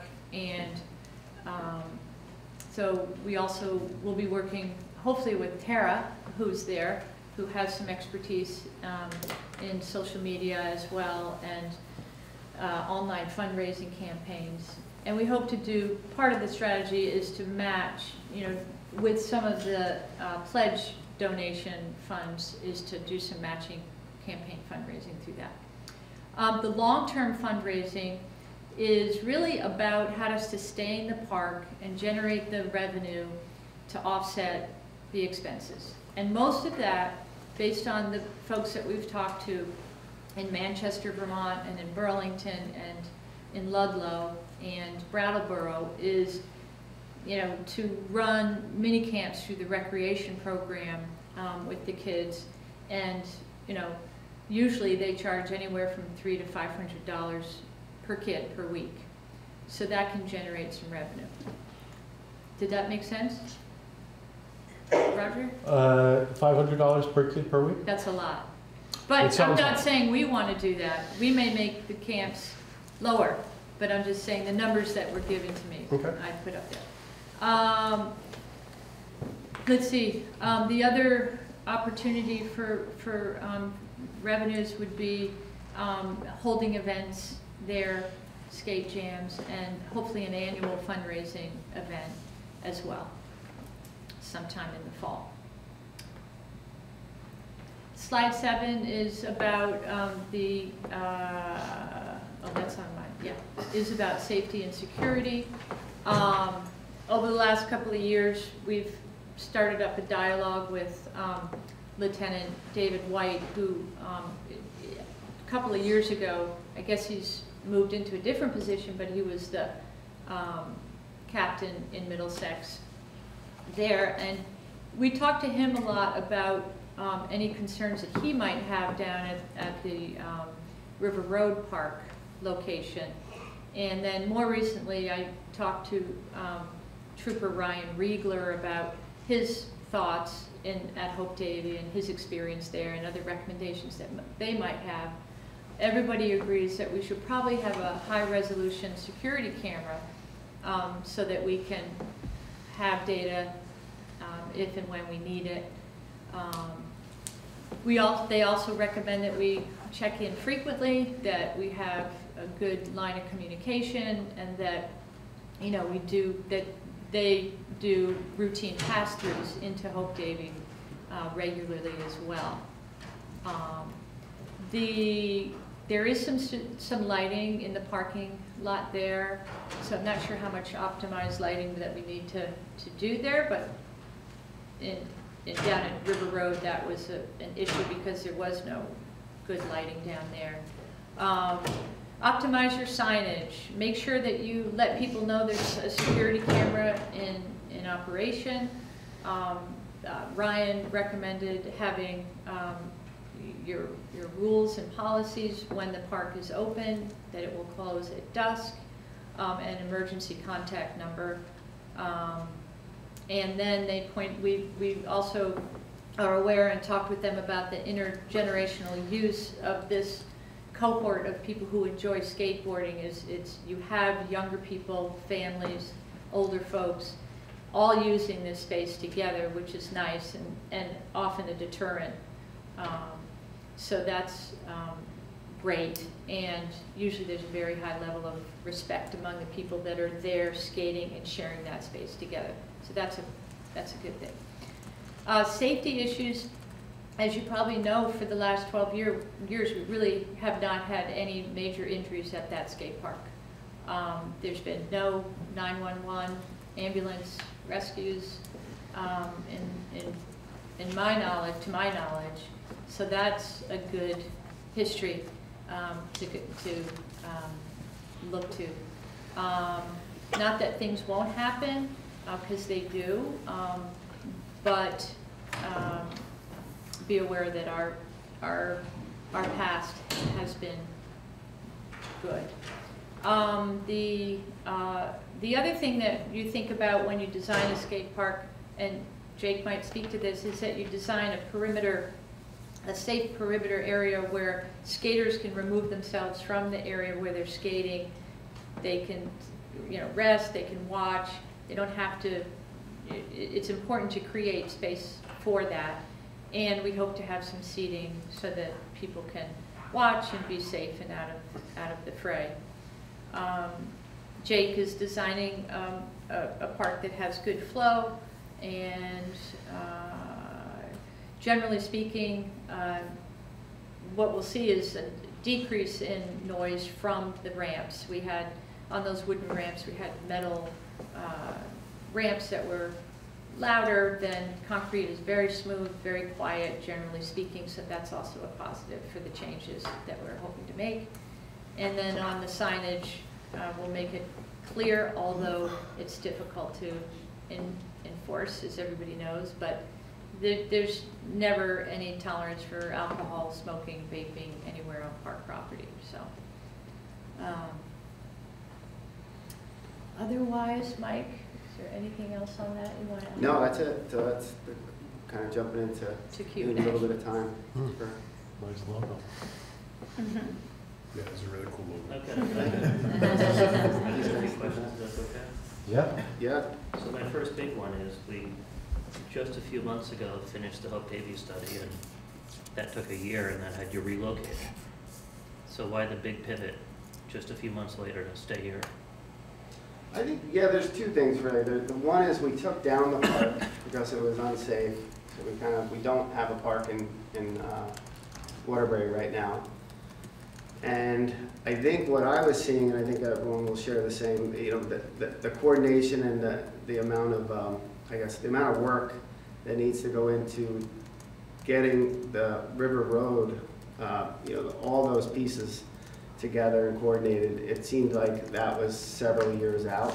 And we were really eager to replace the park. You know, we have some money now, we have some momentum, and we have some space. Um, so it just seemed like the path of least resistance. Uh, again, we're not, we're not taking off that other park, uh, off the table. We're, we're gonna see how this park does. Uh, I think that's the, if anyone else has any input, that's the idea. Okay. Yeah, I think, I think too that with the flooding, it was a little concerning because in the last, you know, ten years, we've seen it flood frequently. And, um, the area that we were given is, is not really, it's still in the flood zone, so there'd be a lot of expense to the engineering for that as well. It's a bit daunting. Um, To, um, yeah, Mike. That kind of dovetails to Tom's question to mine is that, so you're pretty much dismissing the River Road site? Because to me, I'm concerned long-term with, if there's two parks, what's, you know, the cost becomes exponentially more. And, you know, I have no problem if, if you guys think Hope Davey is the way to go, because flooding is, maybe, could, could be an issue. But long-term, I think us as a select board would have that concern, you know, what, what your long-term goal is. Are you looking at developing multiple sites or, you know, and how sustainable would that be for the town to run? So that's my comment. Can't answer that right now. I know. No, but I think what you're, you opened it with, it, it's, you, you seem to, I guess, we're not taking it off the table. We're, Yeah, you tha- know, that's what I got the sense. But that's what, I think as a select board, we're kind of concerned with, you know, they're just all sorts of services that come before us and, you know, how much can taxpayers afford? So that, that becomes, you know, that could be to your detriment by taking this, that River Road site, you know, down for a few years. Can we afford it in a few years? But I, I understand, kid, kids like to have fun, and I think that's an important thing. Elizabeth? Um, I would love to go back to the site plan and the budget. Um, I guess just one thing, I did pull out the plan and actually think what you have, it looks like aligns with at least this draft of the park study that we adopted I'm looking at, which had 14 additional gravel parking spaces. Um, I guess the budget as outlined that we saw, that you're raising the additional 60,000 for what site work and other work is that covering? Is that just to construct the park itself? Seeing that the basketball is a different place, or would you be asking that to be a municipal expense along with the parking? I guess I'm curious, in adopting a proposal like this, what would be a commitment from you all in the coalition and what would be a town ask? Right. Um, To that end, I would say the town RFP, I don't commit town staff to anything offhand in a meeting, so Yeah. would just want to make sure Tom and town staff was comfortable, because there are, as you acknowledged, I requirements around what a town RFP is and if we're doing that versus if. Yeah, I mean, one of, one of the ideas for us swapping the parks, or the, you know, the facilities, the basketball closer to the um, fire station is that you wouldn't need to do any work there. You could use the existing asphalt surface for basketball. We thought that would be, you know, good. And, and then the, we're not hundred percent sure, there's forty thousand dollars to build out into that grass, and we, we are presuming that cost, or assuming that cost. You know, again, we're gonna look for the community to maybe donate some of the materials, maybe some of the excavation, you know, we don't know exactly what's in that. We haven't really done a lot of, you know, detailed elevation work out there where we're gonna know, you know, learn a little bit more about how much, um, we have to, uh, put beneath this park. Because usually it's about six inches of gravel um, below, you know, your, your, your concrete slab, and then your features are above that. Um, So, but just to answer your question, I think in just, in, in, our hope is that we wouldn't be asking the town for money to do this expansion. Our, our fundraising uh, contemplates that. Katerina? Um, I would just like to add to that, that the Hope Davey master plan does talk about the parking, so the parking is not part of the coalition's plan either. Um, and then the ADA path that was referenced is also part of the Hope Davey master plan, not the coalition's proposal. And how about basketball? Basketball is not part of the coalition's, uh, Right. as I understand it, So but. you would leave the ask- space open and then it'd be up to the town to. Yeah, to get and there's some hoops. partition work in between the park and this, and the basketball court, so we need to think about that a little bit, Mhm. just to make Could sure be a there's no great spot for viewing, viewing. Nice, yeah. Seating. There's a couple of options there. but- stadium seating. or So something. there's some, there are some instances where it's gonna be a little, there's a gray area on who would provide funding to, but it, Just out of curiosity, why do you feel it's important to double the size of the skate park? I think, it- I mean, uh, A-Dog Park up in Burlington's how many? square feet? 25,000. 25,000 square feet, and that's a proper legitimate skate park. Uh-huh. 4,000 square feet is very small. Uh-huh. Yeah, so the 2,000 square foot park as is right now is incredibly small. And that, any idea like how many skaters that accommodates and how much the proposed one would accommodate at a time? The one right now, due to the features, accommodates maybe five at a time, four at a time. So I'd Mhm. say double that, doubling the size. At any one time, that many skaters can be skating, and then twice as many can be spectating. So you could have twenty skaters there easily, I would say. yeah. Mm-hmm. Okay. I'll tell you as someone who skateboarded on the ramps that previously existed, it accommodates two. Two? Well, you're a big guy. Four children, two teams. Gary? Um, So I have, a- a- being the immediate neighbor, fire station, um, and I, I had a good conversation yesterday. Oh, There's a microphone up here. Yep. Come sit by Yeah, it. sorry, yeah, sure. I- We had a good conversation. Fire Chief Gary Dillon. Um, First, I, I- I want to go back just from what I was, what was just talked about, is that down to the uh, ice rink, it floods. We're talking about a concrete skate park. So closing it off shouldn't be that difficult. I mean, everybody else functions, we clean up the, the softball fields, people clean up their houses. But beyond that, I think if you build in Waterbury Center, even though you're saying that this other park is still in the back of your minds, it becomes further back because you already have a place.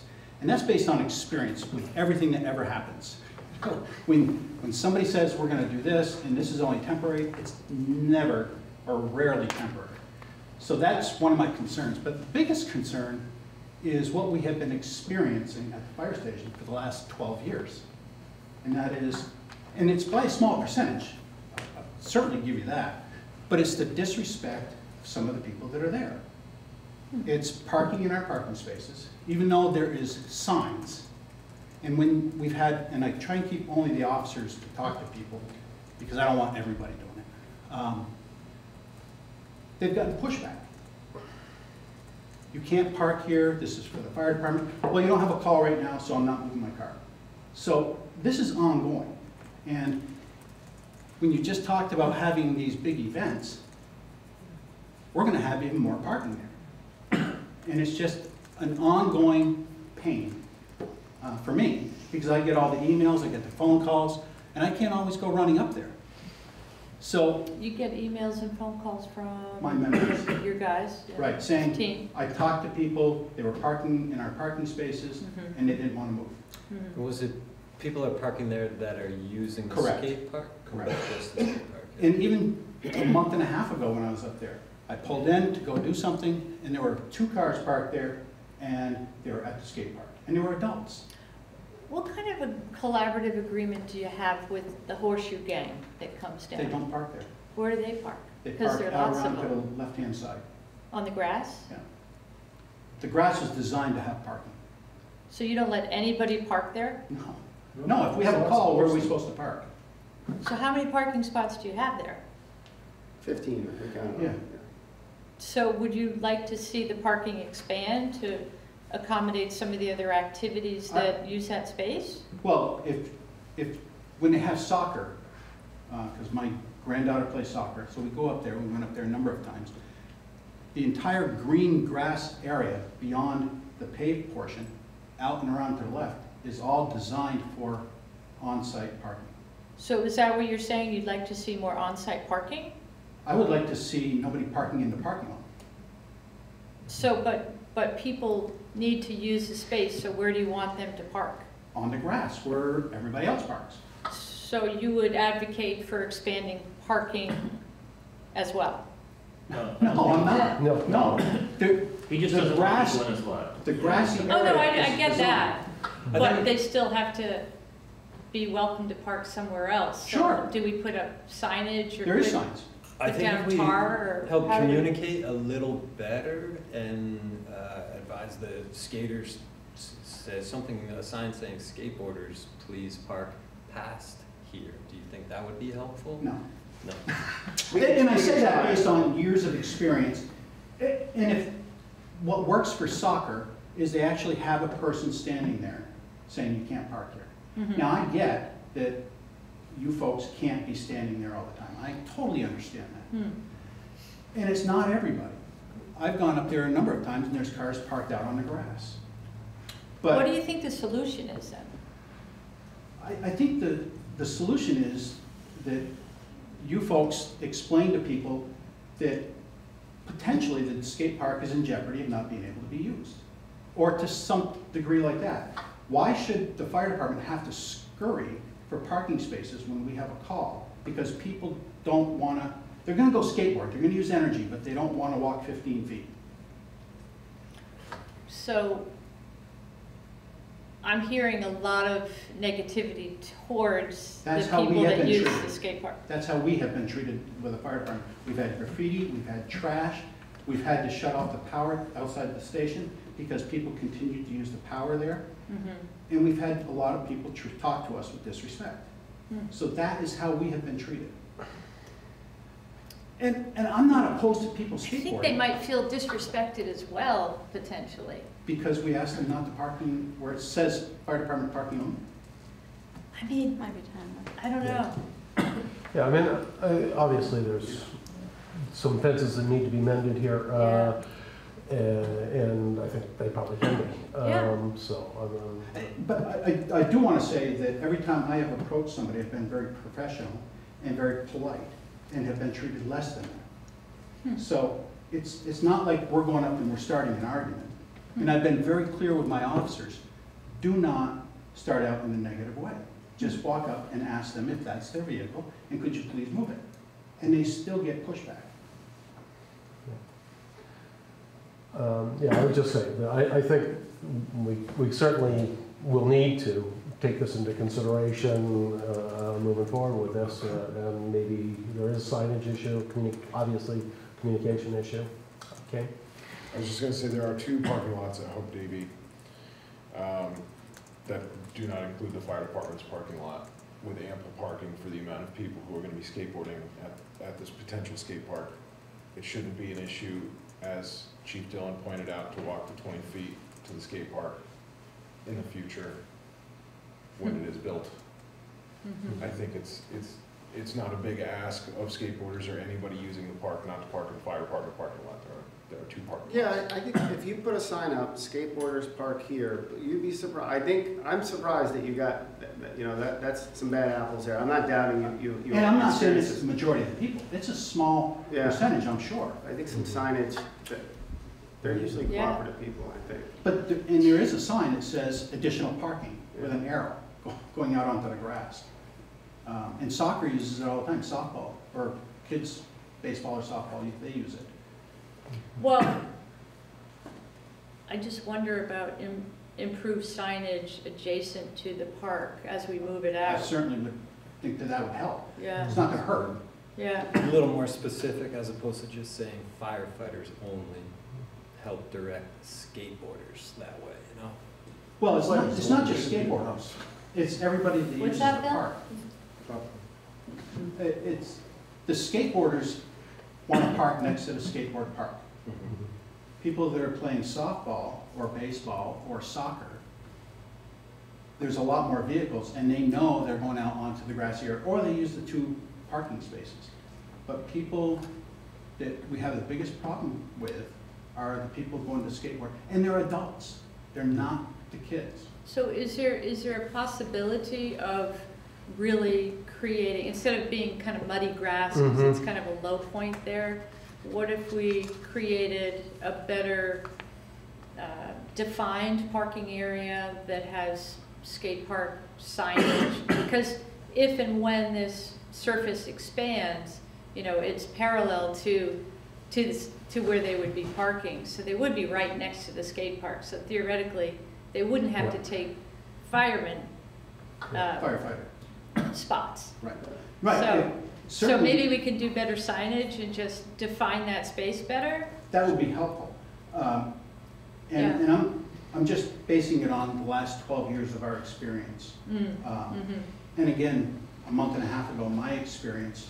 uh, Well, I'm for the glad you're final- not talking about security, because I think, um, you know, if you, if you feel that there's interpersonal stuff that can improve, and we can identify ways that we can improve it, Mm-hmm. that's good. Um, and I thought maybe you would have security concerns about lighting or other. My concern, uh, certainly lighting will help your park users. That doesn't impact me. Um, It may impact the neighbors with lighting, although I it's out don't the know that we need to put more lighting in there, but I was wondering if you thought we did. Well, lighting and parking, I'm sure will be also addressed by the DRB. Yeah. in that process. Okay. Um, And, and if they're further away, we likely will have less garbage left at our back step, maybe, I'm hoping. Um, But we've had to pick garbage up because, especially when it's raining or it's really sunny out during the summer, and kids will want to sit underneath the entranceway to our station because it's in the shade, Ah, and then they leave their garbage there, so we end up picking up garbage. oh, there's So- no, there's no garbage bin there or anything? Of course there is. Oh, and they still leave it? Of- Of Yeah, course they that's do. annoying. Of course it is. But it's not This can all be. insolvable. No, it's not insolvable, except it hasn't been solved in 12 years. I've, this is the first I've heard of it. You've This is- never spoken to me about it. I've never knew who was in charge of the skate group. Oh, now we do. They- They've Yeah. certainly. See, We're making, we're making progress. Yeah, we're Do making progress. Parking problems behind the Main Street Fire Station? From time to time. We have equally number of parking problems in front of the fire station. I would just be really interested to see if these problems continue next year, if we weren't to put up a skate park and it was to be completely empty, if trash is still being left and people are still parking in those spaces, you know, I just don't know if it can all be blamed on skateboarders. That, that's a good segue. Mm-hmm. Can we perhaps go to the slide that had the timing for the RFP?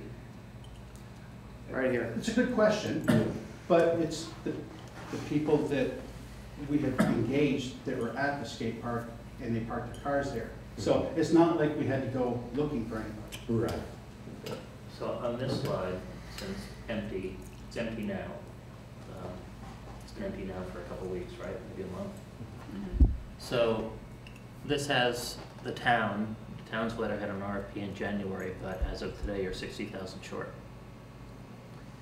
Um, so how do we issue an RFP in January if we're not fully funded?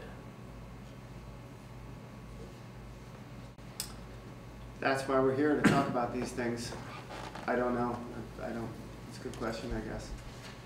I didn't know you have to have fully funded pro- projects. I guess people wouldn't bid on a project that they didn't have funding, or? I mean, they would, the, the vendors wouldn't necessarily know, but it, it's hard to ask a vendor to, to do work in preparing a bid if we might not go forward, I think, just.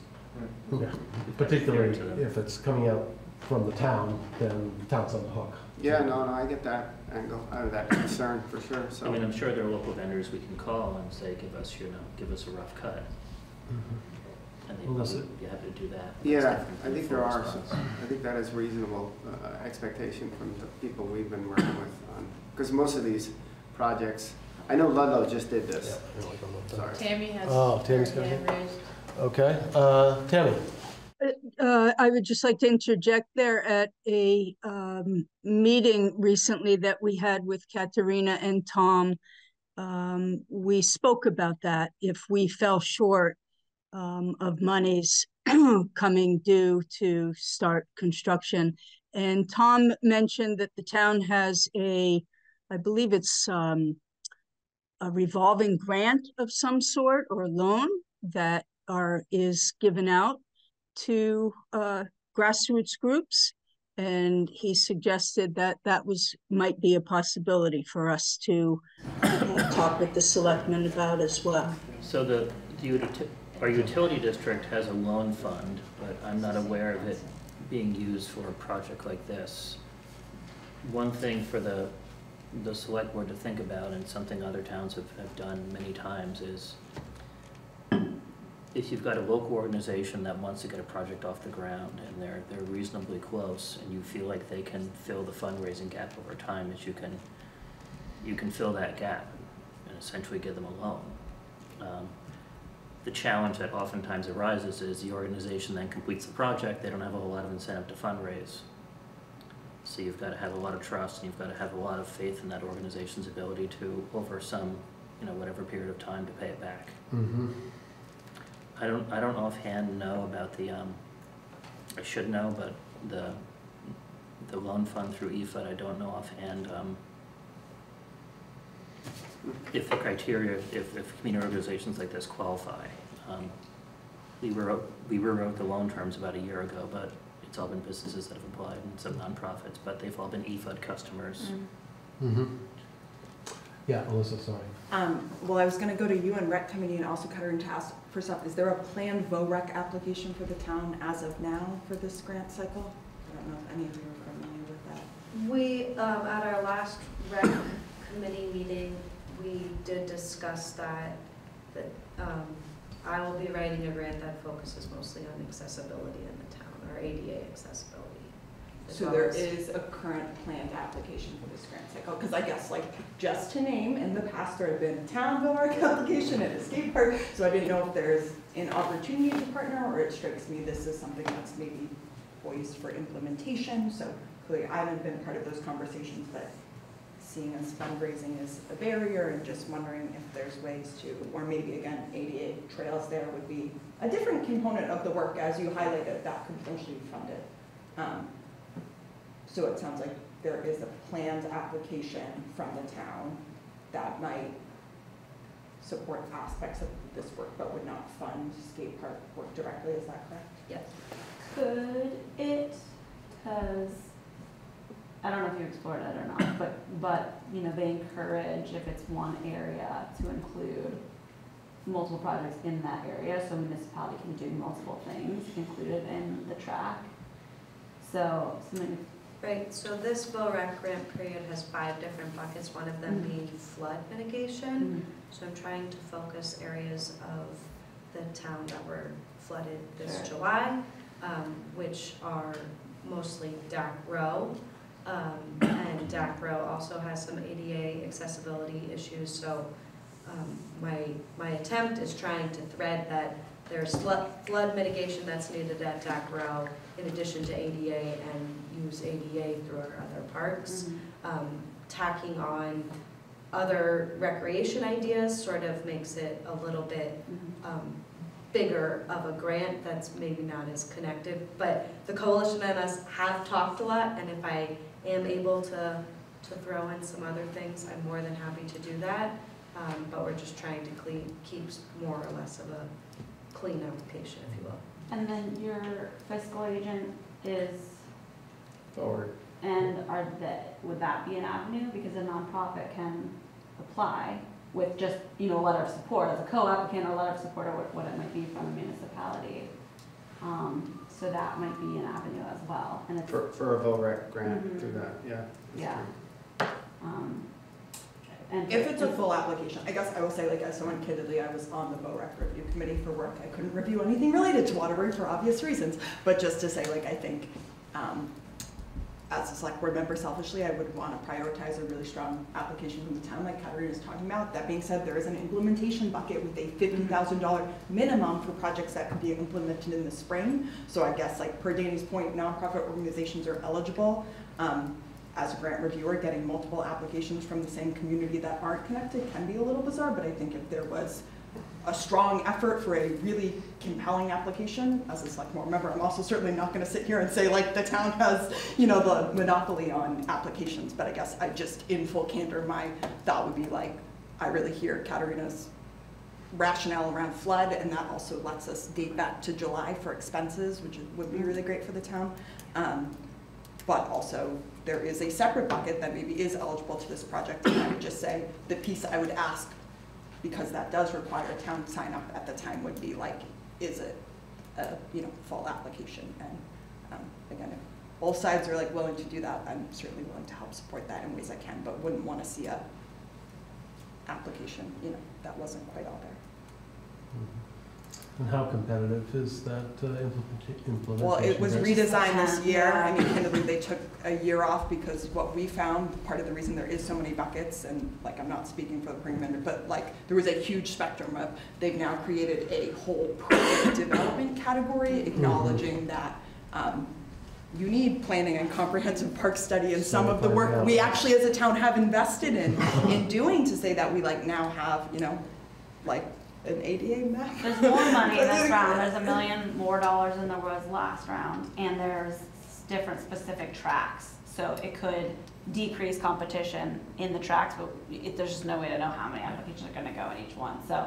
It's a, it's a heavy lift of an application, but it's a minimum of fifty thousand and could be well worth, especially, I don't know if you said somebody does have that, like fundraising experience, I don't know with grant writing, but it could be well worth looking into to see if it's.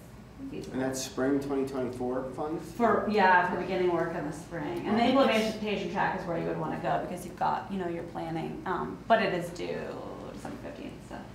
But Yeah. Tom, what do you think, if, if, if, you know, what's your take on the original question, if, if we did have only seventy-five percent of the money in our coffer, would you, you know, is that a non-starter? It's not something I can do on my own. I don't have that authority. It would be something the select board would have to consider. We're moving into the budget season, so it's not bad timing. The real issue for me is, is, you know, not just the last year, but the last two years. What's your fundraising history? Can you realistically fill that gap? And I've, I've done this in other projects in other places, but it's, it's always been tied to something um, that the municipality could own and had a, had a stake in if the fundraising wasn't there. You know, you built a building, you're building, you know, Mhm. you get a mortgage in essence. In this case, um, it's a little different.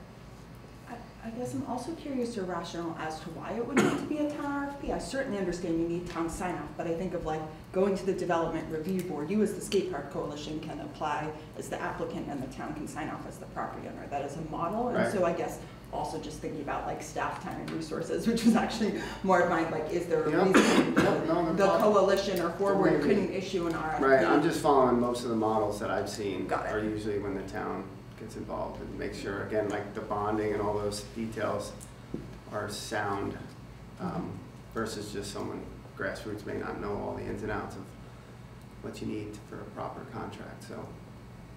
But we could explore just doing it outside of the town. But the expectation is the town's gonna hold it, right? Yeah, oh yeah. Because you're gonna have to insure everything else, so. Yeah, Mike? Would the coalition post-construction be contributing in any way to the maintenance and upkeep of the park and, and/or possible having, um, you know, additional side liability coverage for, for, you know, the skaters? The liability coverage is if we own it. I, I, I know the town has, but sometimes, you know, supplemental coverage doesn't hurt. I know that from kn- knowing enough insurance agents. I, I think our coverage is pretty comprehensive. I'm not Comprehensive. really concerned about that issue. Yeah. I I wouldn't I if I were you, I wouldn't want to be holding insurance, because then that opens you to liability. You know, Mm. S- some lawyer's gonna say, well, they get an insurance policy, let's go Right. after them. Deep So- pockets. But excluding the insurance in terms of the long-term maintenance responsibility of the park, you know, did you have any plans for contributing to town coffers? Well, we, we, I mean, we've always kept up as best we Right. could the other skate park. Right. So that we have a whole lot I of mean, it's- volunteers. is- That plan that you presented was the fundraising, long-term is to offset the maintenance costs, right? Yeah, So- yeah, hopefully we'll raise enough revenue to cover the expenses. Yeah, and person power, we can always come up with somebody. Well, um, I'll acknowledge that we're going way over time here, uh, and I apologize for that. I should have allowed for more time, more discussion on this. Um, To my mind, there are two concerns here. One is sort of the conceptual design of this, uh, and the expansion from what was uh, approved uh, in the overall Hope Davey plan, which to me doesn't seem terribly different, and I wanted to get Katerina's uh, take on it from a recreation standpoint. Are you okay with the conceptual design as it's been presented? Yes, and as is the rec committee, I, I would just say that Hope Davey never, the Hope Davey ma- na- master plan never mentioned how big the skate park would be. Um, It just mentioned that there would be skate, a skate park and there would be basketball, um, which is why the recreation department pulled the community for their thoughts on basketball too. Um, Mhm. on if, you know, they both should exist there, um, by getting more feedback. And, and the community said, we want basketball there, which is why, um, the plan as presented today keeps basketball there and expands. Mhm. And are you planning to have money in your budget for the trans, uh, transferring the basketball court into where the park used to be, the skate park used to be? Yes. Yes, I have to figure it out, but yes, that is the plan. I realize we're not Yep. there yet, I'm just like, you know, seeing how far the planning has gone. Yep. And uh, I don't know if you've considered uh, the parking question, uh, whether grass is sufficient or whether more needs to be done there. Yeah, the parking is in the master plan, Mhm. and certainly an uh, ongoing consideration. I think it depends on how much money is in the budget. And there is money to redo the basketball court? That's what, um. uh, That's what I was Brett asking. yeah. They were asking, and- We'll be voting on this. There's, there's not money to redo the basketball court. There's money to use the existing asphalt and possibly resurface it so that it's a better surface to play basketball on. Okay, and then you have to Yep. plant the uh, hoops at either end there. Yep. Which are really expensive. Hmm? Which are shockingly expensive. What, that goes in? Yeah. Okay, well, I guess we'll be hearing more about it. Um, And then the other, the second issue is really how this whole funding thing is gonna come together. I do have concerns about, you know, essentially writing a, a, a promissory note for sixty thousand dollars. Uh, I'm not sure that your fundraiser, I mean, I, I appreciate everything you've done and wish you the best, but I'm not sure that covering sixty thousand dollars in a couple of months is really a, a, a- good bet. Um, So, uh, that's, I think if you, you asked for uh, some sort of conceptual approval, or Tammy did, um, I'm wondering if we could approve the concept and then hold off on the discussion of how the whole thing's gonna get financed uh, to a. to Yeah, I mean, I think one outcome would be it's, it's a 2025 project. In the event you guys, you know, it's just a non-starter again for one reason or another.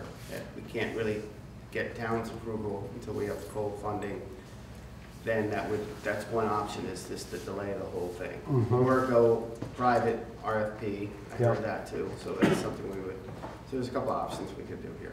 Seems like the quickest and best option would be to really get the town's support and approval moving into this VOREC grant coming up. Yeah. Yeah. Right? If we could do that, minimum fifty grand, there's our budget. We've already raised a hundred thousand dollars, which we're willing to put in Right. to a town asset that's gonna be used.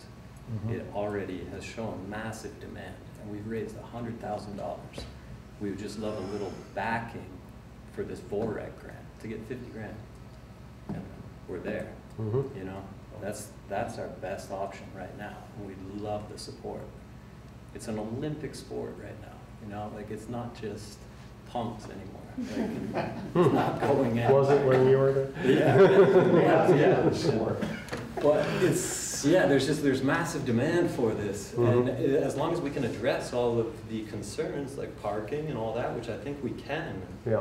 um, the whole community, people come from all around to use this little dilapidated skate park. Mm-hmm. Imagine if we could come up with an amazing state-of-the-art little skate park in our town. Mm-hmm. So many towns. And get them to park in the right area. Yep, mm-hmm. so many towns have really nice skate parks, and it's just, it's crazy that neither Waterbury nor Stowe does. I think we have. We should- We should talk to Stowe too. Well, Um, we'd rather have it in Waterbury though, you know, Waterbury's, yeah. Uh, uh, all right, um, so maybe we could entertain a motion uh, to, for conceptual improvement, approval? Is I that- I move to approve the concept as shown for the skate park at Hope Davey Park. Second. Moved and seconded, any further discussion?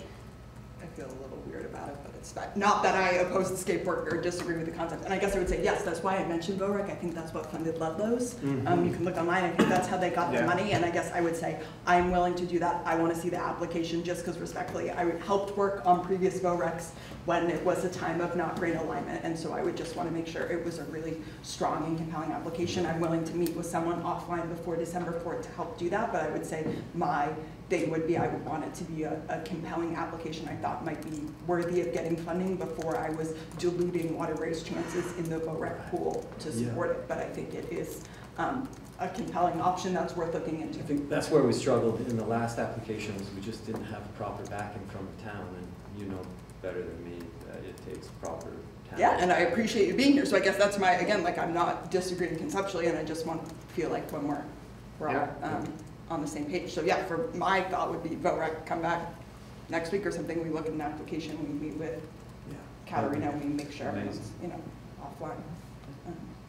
I wanna recommend. May I ask ask a quick question? Uh, It's a Sure. little difficult on Zoom to hear. Uh, Alyssa, Alyssa, are you suggesting that the coalition write their own VOREC grant? Or that we jointly do come in on this one that Katerina is working on? What Katarina shared, and she can chime in, is that she was working on one specifically on flood recovery, so that was a different bucket, and there wasn't really a lot of overlap. Um, so what we were talking about here is potentially, there's an implementation category, and nonprofits are eligible. So it also would be a question for if Forward was willing to do that. But I think to some of the points Jake is raising, you have matching funds and you have an implementable project on the process of being permitted in approximately the timeline, which is a very different place from previous years. Mhm. Um, so maybe if there was a concerted effort there, that was something the town could align with. There are, um, like office hours, and I, I will forget to email you, so you can look online and find it, or please feel free to email my personal email and remind me to send it. It's coming up maybe next Tuesday, um, for open forum to ask questions. And I have asked this specific question, um, and the, the answer that I've gotten is that like flood, flood related applications are treated very, very differently. So I think it could be a good chance, which is why I personally was like pushing it. Um, so if you don't find those office hours for that Zoom, feel free to email me and, and I'll send you the link for that, um, to answer a lot of questions about the applications and, um, they're really, really helpful. Sounds good. Thank you. Any further discussion? Hearing none, all in favor say aye. Aye. Aye. Any opposed? Any abstentions? Are you opposed? I oppose, and I'm not opposed for in conception, but I'm opposed to the fact that either the VOREC or the, I, I know we're talking about this conception, that the committee is gonna raise money. So that's where, you know, by that January date, something, had- you know, I, don't- I don't think, I don't know if the town's gonna come up with that whole bucket of money. Well, the So- concept could apply to twenty twenty-five also. Right, it was just a- as drawn. Yeah, we're, we're talking about the, the layout. Okay, We're- we're- I have no problem with that, I agree. So it is unanimous? As a is fundraising it- member of the so- Stowe so- Street Alley Committee, So is it Yeah. unanimous? So with that clarification, Mike, you, I could change my vote mm-hmm. To EDA. would you? Yes. Okay. I would. All right. But Uh, you can see why I have some apprehension. I see that, yep. Okay, thanks a lot. Thank Thank you. you very much. Look forward to working with you. Yeah. Sounds good. I'm Sorry, can I ask a question? Does anybody Yep. know who that couple was sitting in the back of the street? Tamitha and John? Two last names, Yeah. uh, something passing. Yes. Okay. Um, I'll get it. I can find that. H-A-N-S-E. I'll, I'll get it. Their after. daughter's Yeah. name is Harper, and her last name Yeah. is, this is embarrassing. Is this spelled I do know them. H-A-A-S-E? I can find it. Tamatha. Tamitha, okay. Just, just as a s- an aside to that conversation, what Gary Dillon brought up, we have heard that complaint. I agree. A lot. And something, you know, it's, I know it's just a few bad apples. And maybe it's something we need an ordinance to have, you know, for parking where firefighters need to be parked. And maybe with a restorative justice program, Well, could be a no, we may have heard that a whole bunch, but I'm not aware of action that we've taken, to be super frank. No, we haven't. taken So- action. I think it's a good location for a camera.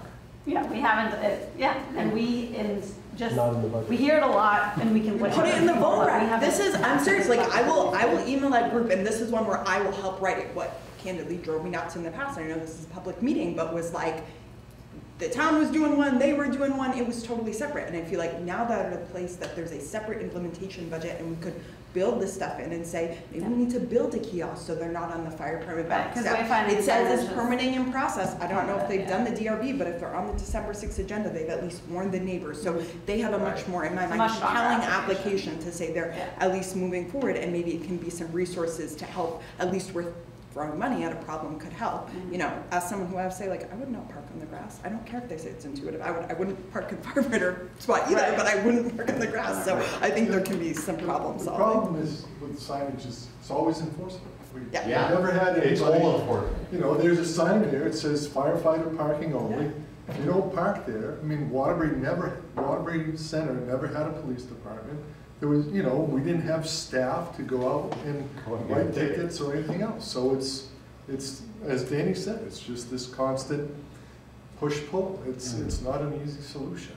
It's a, it's an irritating problem. It's, it's, There was some irritation points too. Yeah. Yeah, Gary has made that very But I do think there are steps to ta- we're never gonna solve the problem entirely, but there are steps that haven't been taken that we can take and try. Right. And also, if they fully fund and go forward, that's like, I feel like that's a thorn that we can work on. You know, the big issue is gonna be funding and moving forward with RFPs. Right, because getting that still might not be a done, right? process, So- yeah. It's not a sure thing. And Tom, you had other questions that probably didn't get asked, but uh, we'll take those up as we go That's forward. okay. Uh, Next thing on the agenda is the third quarter financial update. Finally, I can be, I can be pretty quick here. Just want to hit some of the highlights. Um, No, no big issues on the revenue side. Um, The second line down is the other governmental revenue. Big chunk of that actually came in at the beginning of November. So not in this update, but at the end of the year. We, um, we get about hundred six thousand dollars from ANR, No, that's the which wrong is, which is. No, it's just the bigger one, the same one, Tom printed us a big one. which is reimbursement for uh, people in current use. Hmm. Um, That nets us less, the state makes us whole, so that came in on budget. We know that number in advance. The pilot number, we don't know in advance. We budgeted three sixty, we got four hundred, so that'll be in the final year end, but that, that all looks fine. Um, Huge change in miscellaneous revenue compared to our prior year, but that's really where the ARPA funds get transferred from the ARPA fund in here, so When do you think we'll know about pilot? Tom? we got it. Oh, we did, okay. Yeah, we got four hundred, we budgeted three sixty, so we're, Okay. we're looking good there, and next year should be, next year, several other towns are collecting their local option tax, so their Mhm. pilot fund should grow. Hmm, yeah, more money. Uh, so that's found money, that's great. Um, In general fund expenses, um, nothing huge to look at until the fourth line down, which is the flood. Um, so there's a hundred two, are, are about one twenty-five. Um, so some of it's a little hard to, to, um, net out.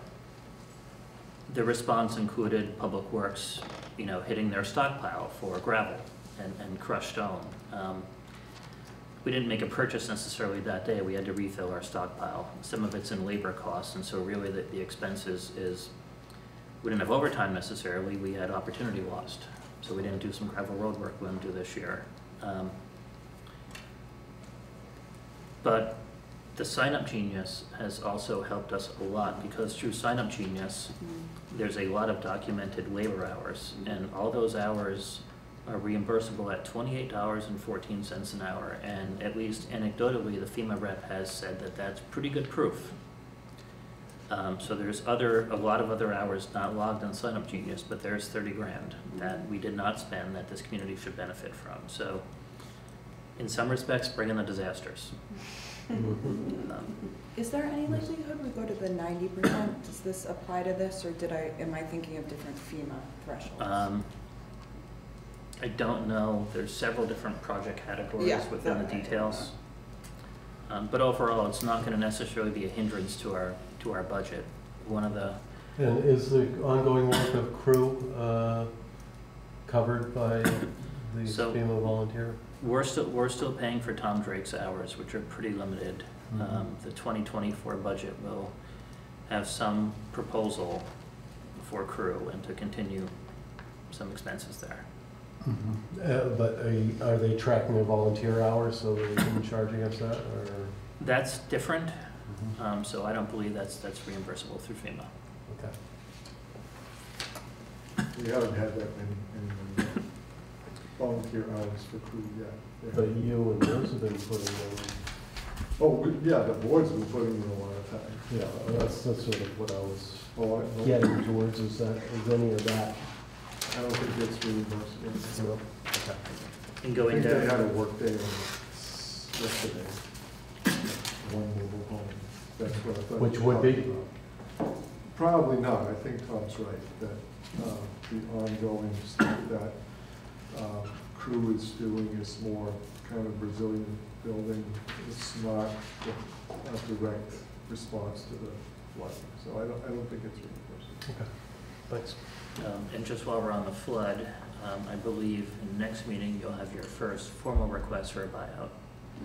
And potentially, that may be it. There could be three or four others in the works. Um, But we're slowly getting there. But what's, what's interesting to think about, um, if the property is bought out, essentially you get a clean lot when it's done. You, you can, um, you can't build on it. It's gotta be, um, it's gotta be essentially green space. You can do nothing with it, become a whatever. Um, you can mow it, you can have a park and ride, but you can't pave it or gravel it. Um, but what's interesting is, we could have a situation where we have a couple of lots on Main Street and a couple of abutting lots behind it in Union. Um, so we could have a Train track in small, a small assemblage, you will. Can you put like benches and little trees there, or you're Yeah. not allowed to do that? You Yeah. can do that, you Yeah, could, put- you could put a pocket parks. playground, but you can't pave it, can't gravel it. So not, not So much as you long as we do. don't put gravel below the pr- playground, we'll be fine. You know, the challenge is gonna be, um, whatever we do, it's another item to maintain. Got it. And we're starting to do that now. It's not so much the grand list impact, because if it's three or four houses, they're not high-value homes right now. How much should we wind up paying St. Albans for the vac machine? Nothing, Not, so Nothing, what's but- not, Do we offer them? but they'll be part of the claim. So if Okay. we get FEMA money for St. Albans and South Burlington, so then we'll, what we get in the claim, we'll give them we, money. we can send them money. Okay. Is there, I thought we had to pay their time or something like that. We did not, that was all, it was all volunteers, and, Oh. um, the more I learned, it wasn't just us. Um, a lot of towns who were not Towns. impacted just, Swapping back and forth. they came to work one day morning and, and the town manager just said to the public works crew, just go where you're needed, we'll see you in a week or two. So there was a lot of that, That's cooperation. yeah. I treated the mayor to, uh, and his family to dinner last night, so. And they went home with a fair amount of booze in their throats. Tom, I'm sorry, before you move on, will we get some more briefing on buyout Yeah, processes and yeah, information? I I wanted to ask that. yeah, next too. meeting, we can have a session on that. Thank you. Um, going down page one through departmental budgets, no, no, no real red flags. Um, Recreation has spent more than last year, and their revenues are above last year, and that's kind of the continued trajectory we see there. I mean, Katarina didn't mention it when she was here, but we did hire a program coordinator. Oh, good. Who will start in a week or two. Great. Are you local? She, um, she's local, um, I think she's living with family right now, so looking for something a little more permanent, but she's, Oh, she's here. I wish her the best of luck. Cool. Um, Highway fund, no real issues on the revenue side. We true up the tax transfers, It- I'll true that up at year end. Um, The, um, despite the flood and some of those costs being embedded in highway, their salary and fringe is actually a little bit down from last year, but we're down a person. Um, Fuel is down, diesel's come down, that's, that's been good. Um, Salt, um, we just spent a couple more grand, which was the first invoice I've seen since, you know, March or April. Um, We'll be over budget on salt, not dramatically, I don't think, unless December's really bad. Um, Chlorine, sandstone, and gravel combined, uh, we're under budget, we'll be under budget by year end, and part of that is the flood, and that we were diverted from doing gravel road work. Um, So there's the opportunity cost I mentioned. Um, Vehicle and equipment repairs where we, we budgeted a lot more in prior years. We've had thirty or forty thousand dollars without a mechanic. We raised that budget. Um, Probably raise it a little bit again next year, but no, no huge red flags. We, um, also not in here is we had an old vehicle that we uh, budgeted to sell that we finally sold, so that'll be in the fourth quarter, but it was nice to, to get that done. Um, talk about the library a little bit, and this will also pertain to, to Public Works. Um, So we'll, we'll true up the property taxes at, at year end, um, but substantially all their revenue is from property taxes. There's not much else. Um, Another big piece is our investment fund. We budget some investment gains and essentially um, skim some of the earnings off the top, so we'll get that in- in the fourth quarter. Um, Library expenses look pretty good um, overall, um, but something that I'll just hint at, and it'll be a little bit of a theme, uh, potentially the 2024 budget, is if you look carefully at library wages and some of their duties compared to some of the front desk town staff, there's a little bit of inequity, of inequity there. So that's something I think we may need to address over time. Um, So we'll talk about that more when we get to 2024. Um, But in general, the library, I think, does a good job of managing, so there's no, no concerns there. Um, Cemeteries are a big concern. We, and that's the bottom of the second page, we budgeted um, some expenses greater than revenues this year in the cemetery, and they had some, uh, they had some donations from a prior year that we're going to spend, so we took that money in a prior year, knowing that in a future year, you're gonna, you're gonna spend it. And they had some additional work they wanted to do, and so the cemetery commissioners agreed that if they are over budget this year, the difference will come from their trust fund. And so I gave them an estimate at their last meeting of how much they're gonna need to withdraw from that fund, and they, they agreed. Um, they did some long-term maintenance work they wanted to get done. The challenge with cemeteries is that we, um, you know, we paid two thousand bucks a week to mow Hope Cemetery, and that's not really sustainable, I don't think. Um, So cemetery is gonna be a topic of conversation in future years. Um, Part of it is just gonna be how much we're gonna maintain the cemeteries, and our standards might have to change a little bit. You know, Bill Woodruff and I are looking for someone to do it cheaper, but we're also saying, you know, maybe weekly is not gonna, not gonna do it. This year, we mowed weekly and trimmed every other week, and maybe we need to switch to mowing every ten days. Um, but two thousand bucks a pop is pretty tough. Um, I've taken a pretty hard look at the electric, uh, the, um, the all-electric, uh, smart mowers, where you essentially.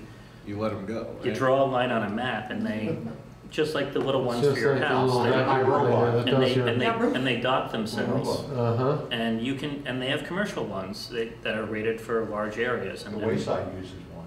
And the challenge is, okay, you're gonna spend sixty grand on a mower, and if it lasts two years, I'd hope you've paid for itself. Um, the issue is we can fix the engine, but I have concerns over things like the warranties for the computer. And Bob Butler may not be a whole lot of help there. Mm-hmm. So I, I haven't convinced myself that the technology is there. But that's probably our future, is we're gonna, mm-hmm. at some point in the next, call it five years, I'm gonna ask you for a six-figure investment in lawnmowers. And we will deploy those at various places and they'll do the job.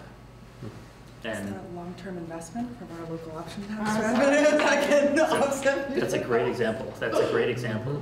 Um, but I think that's the future. Um, Probably gonna schedule some demos for next year, just try to convince myself better. It feels pretty tough to consider a, a six-figure investment in a, in a lawnmower for a cemetery Mhm. versus a roadside mower, which you might expect a lot of money, but for What two is- thousand dollars a week, it may well be worth it. Um, People in the cemeteries don't have like these perpetual care agreements. I know a lot of, especially bigger cities, you know, you'll see that kind of You thing. know, we might need to look at the rates Right. about what we charge, but no, there's no, no agreements like that No to my knowledge. specific for care. Uh, yeah, Bill. Yeah, so the money that is in the cemetery trust fund, if you will, cemetery is all in one fund, Fund 55, I think it is. Um, So you don't really necessarily have to take money out of the investment portfolio because there's interest and uh, gains and losses in investment that are already part of the revenue there. But to your point, Mike, um, there were two cemetery associations in Waterbury. There was the Waterbury Cemetery Association, which was Hope, and there was the Waterbury Center Association, which was Maple Street and the Route 100 one. Back, um, it was right after Irene, um, the folks at Hope, I mean, at uh, Waterbury Center, uh, they couldn't, they- they didn't have enough volunteers. So anybody who bought a lot at, at either of the cemeteries paid for the lot, that money went to the town, and they paid a perpetual care that went to the association. The Waterbury Center Association had about hundred thousand dollars, and they had it basically in money markets and CDs. And people like Ed Brown and Bob Graves and, and um, uh, David Graves and other folks who you know that uh, Mhm. lived up there, they all had lots, and they took care of the cemetery.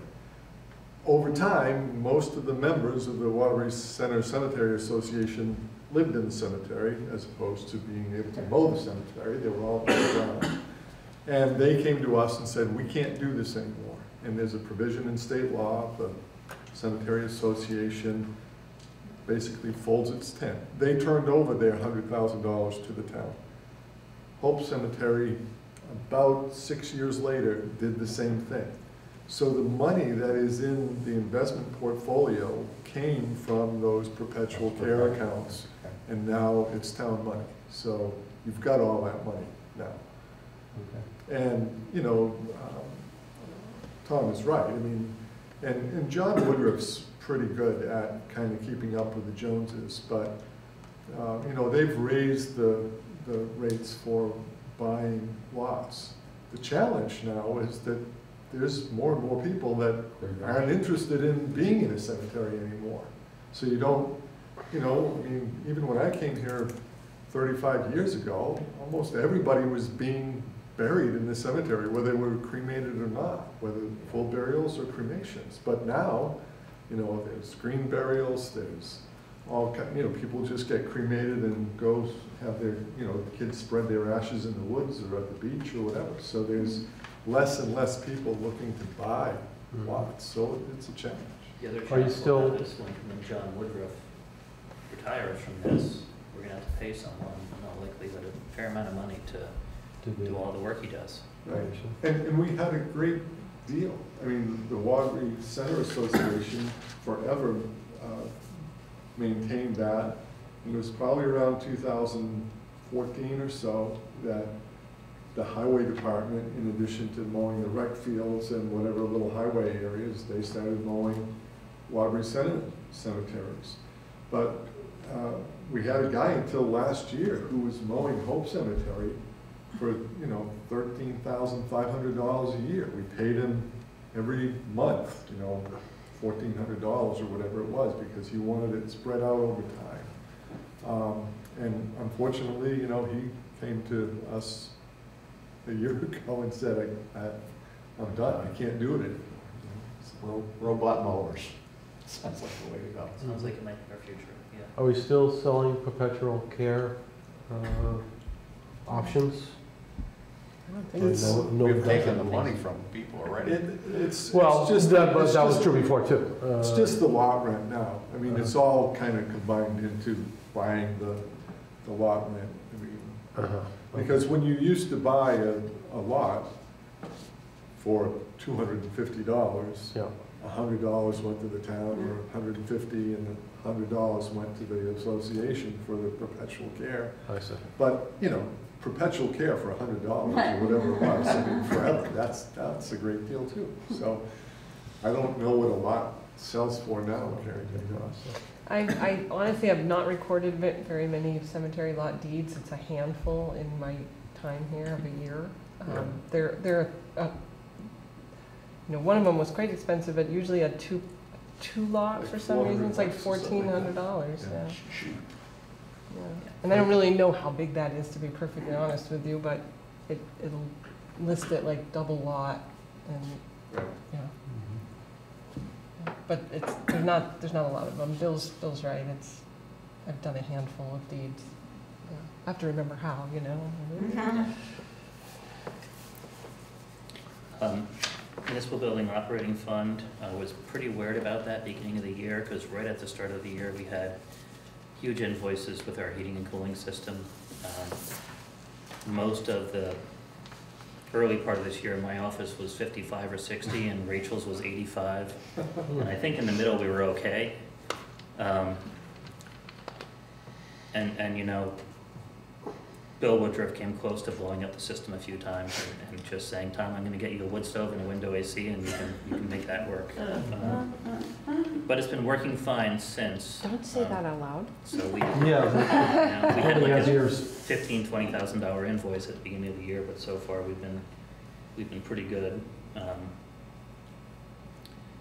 We're looking for new uh, custodial services for this building. We haven't been super happy. I'm not sure they've shown up as often as they, they used to, um, but we'll try to figure that out. But overall, that budget looks okay. There's a big debt service payment that we just made a week ago that will show at the year end.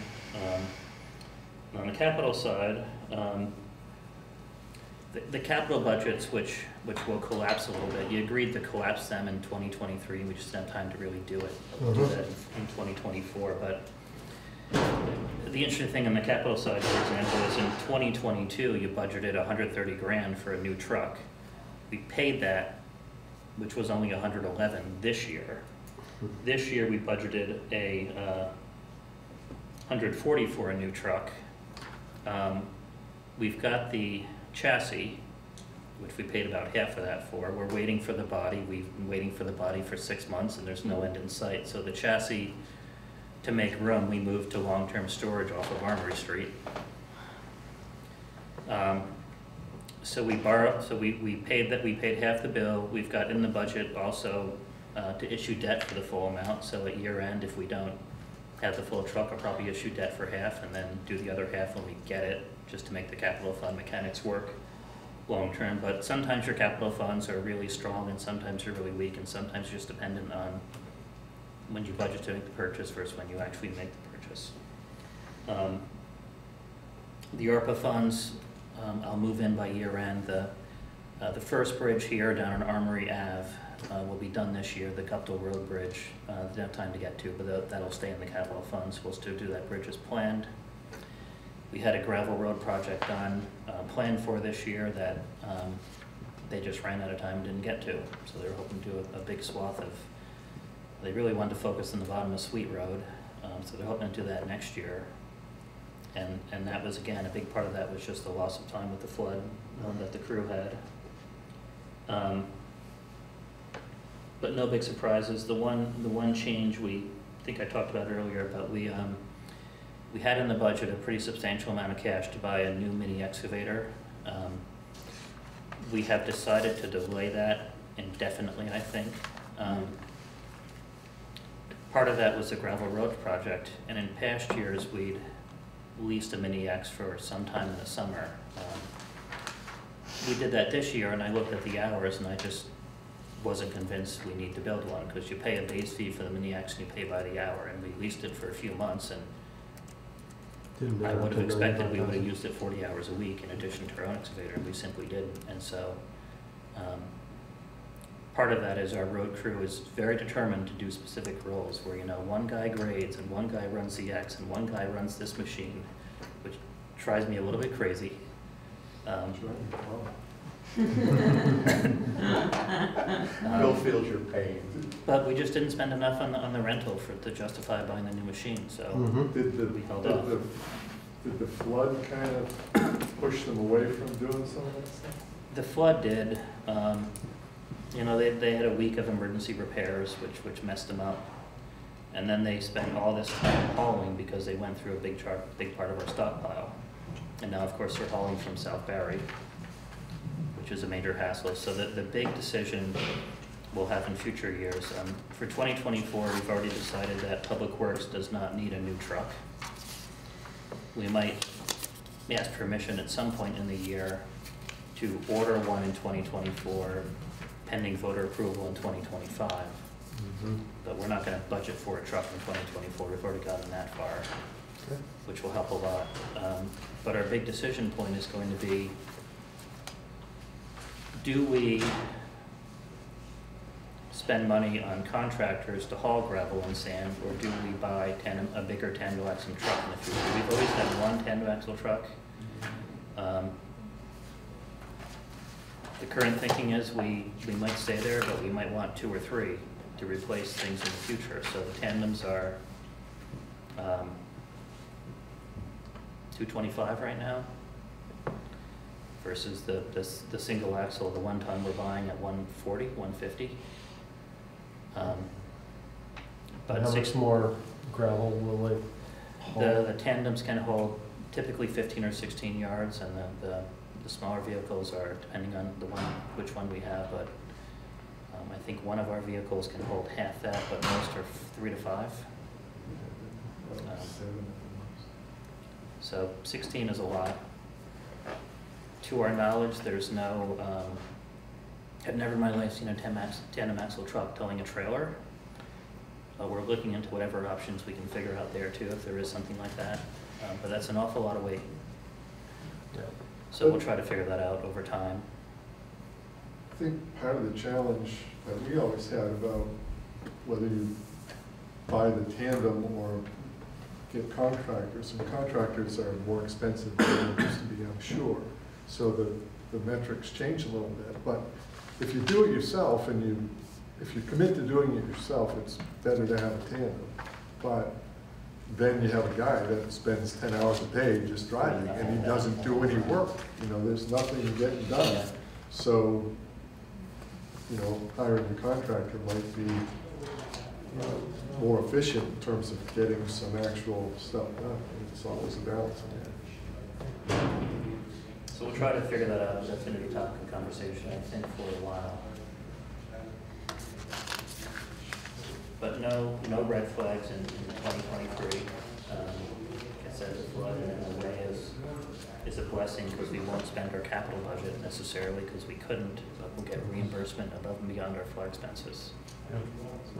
Um, Why are we, just going back to planning and zoning, why are we so much under? Because I know we knew Steve was leaving, and we knew the, whole- you know, Hope Davey expenses were there, and I know you said some of the base expenses were less. What, what was significantly less? So, we were vacant for a while, but then we also had, off the top of my head, twenty-five thousand dollars budgeted for the bylaws rewrite. So we're spending that now. Okay. So that money will be probably entirely out the door by the end of this year. Now, that's grant funded, uh, but it doesn't show in our expenses It yet. doesn't show under our line. Okay, that that answers my questions. But I mean, Mike's position was vacant until he started, right, which was Vacant quite a while. maybe Yeah. September? Yeah. so- Yeah, It's yeah, uh, Neil doing double duty there. Any other questions from the board? Thank you. Thank you.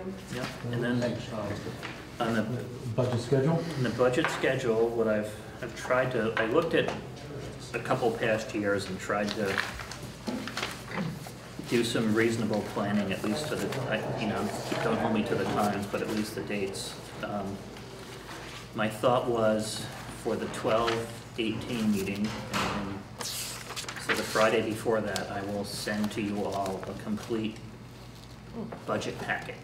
Um, tax rate, tax levy, all the, all the goods. Um, So when you go through the departments, we've got a pretty good understanding of where we're at, and if we're at a two percent tax increase, and you're all pretty happy with that, maybe the review changes a little bit versus if you're at five percent and, and you wanna know how much we need to cut. Um, So I just thought to get something pen on paper, I know typically, um, you meet every week in January, um, which I think is probably gonna be necessary, but, um, I think this basically gets us there. Um, Some, some agencies, um, historically will come in, but I'm not always sure they need to. Uh, for example, uh, the Solid Waste Management District and the Senior Center have both told me there won't be an increase in their funding request. And if there's no increase, I'm not sure they need to come here. Um, A letter might be just fine. I mean, we can have them here if you want, um, but if there's no increase, um, say Senior John center? Mulder has not raised fees in like a long time. seven years. All happening. What, what I don't have on this schedule is I'm um, beginning right after Thanksgiving to talk to the state police about that contract. So that expires June thirtieth, so even if they demand a very large increase, it's only half the year. Uh, But, but And then every year after that. now, for the last three years, that contract has been almost perfectly flat.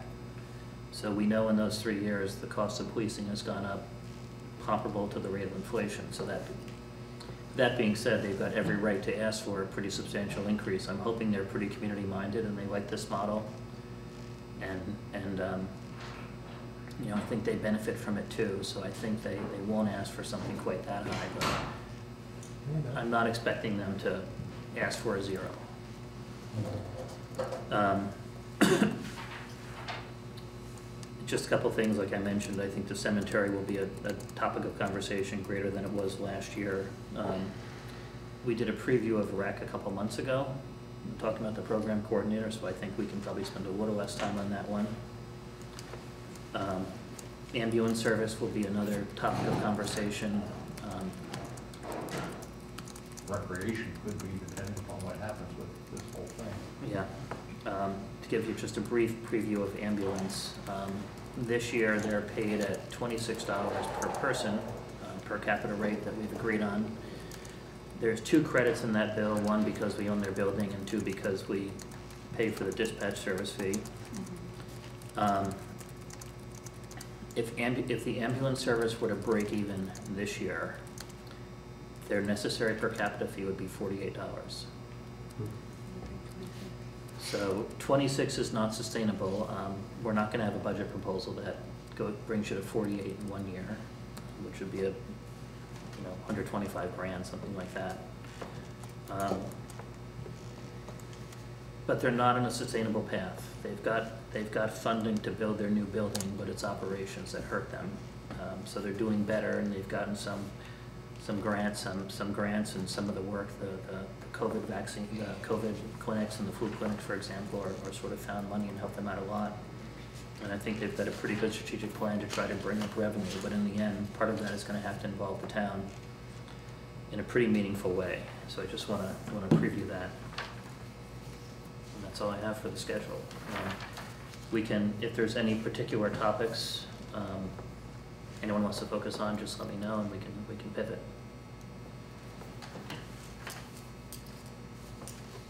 Thanks for our Christmas gift in advance. I know you said that when we interviewed you or soon after you were It might not hired. be a gift, you haven't seen the tax rate yet. I'm taking it as a gift regardless. The sentiment is a gift. Other questions?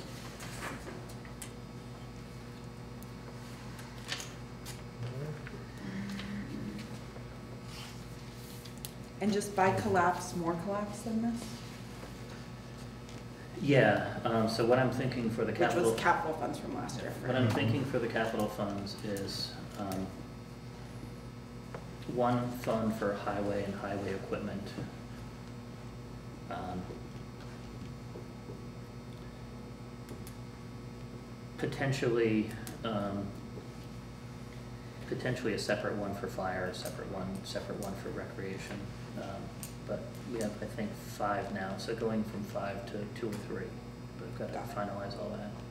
Got it, thank you.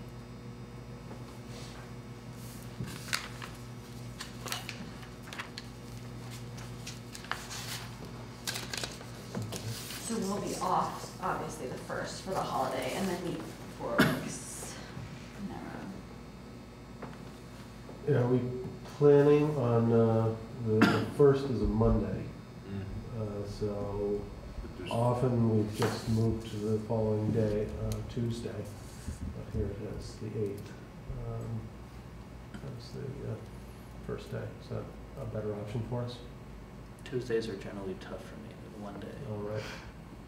at least until April, and then my wife's not running, so. Mhm. helps out. Okay, so.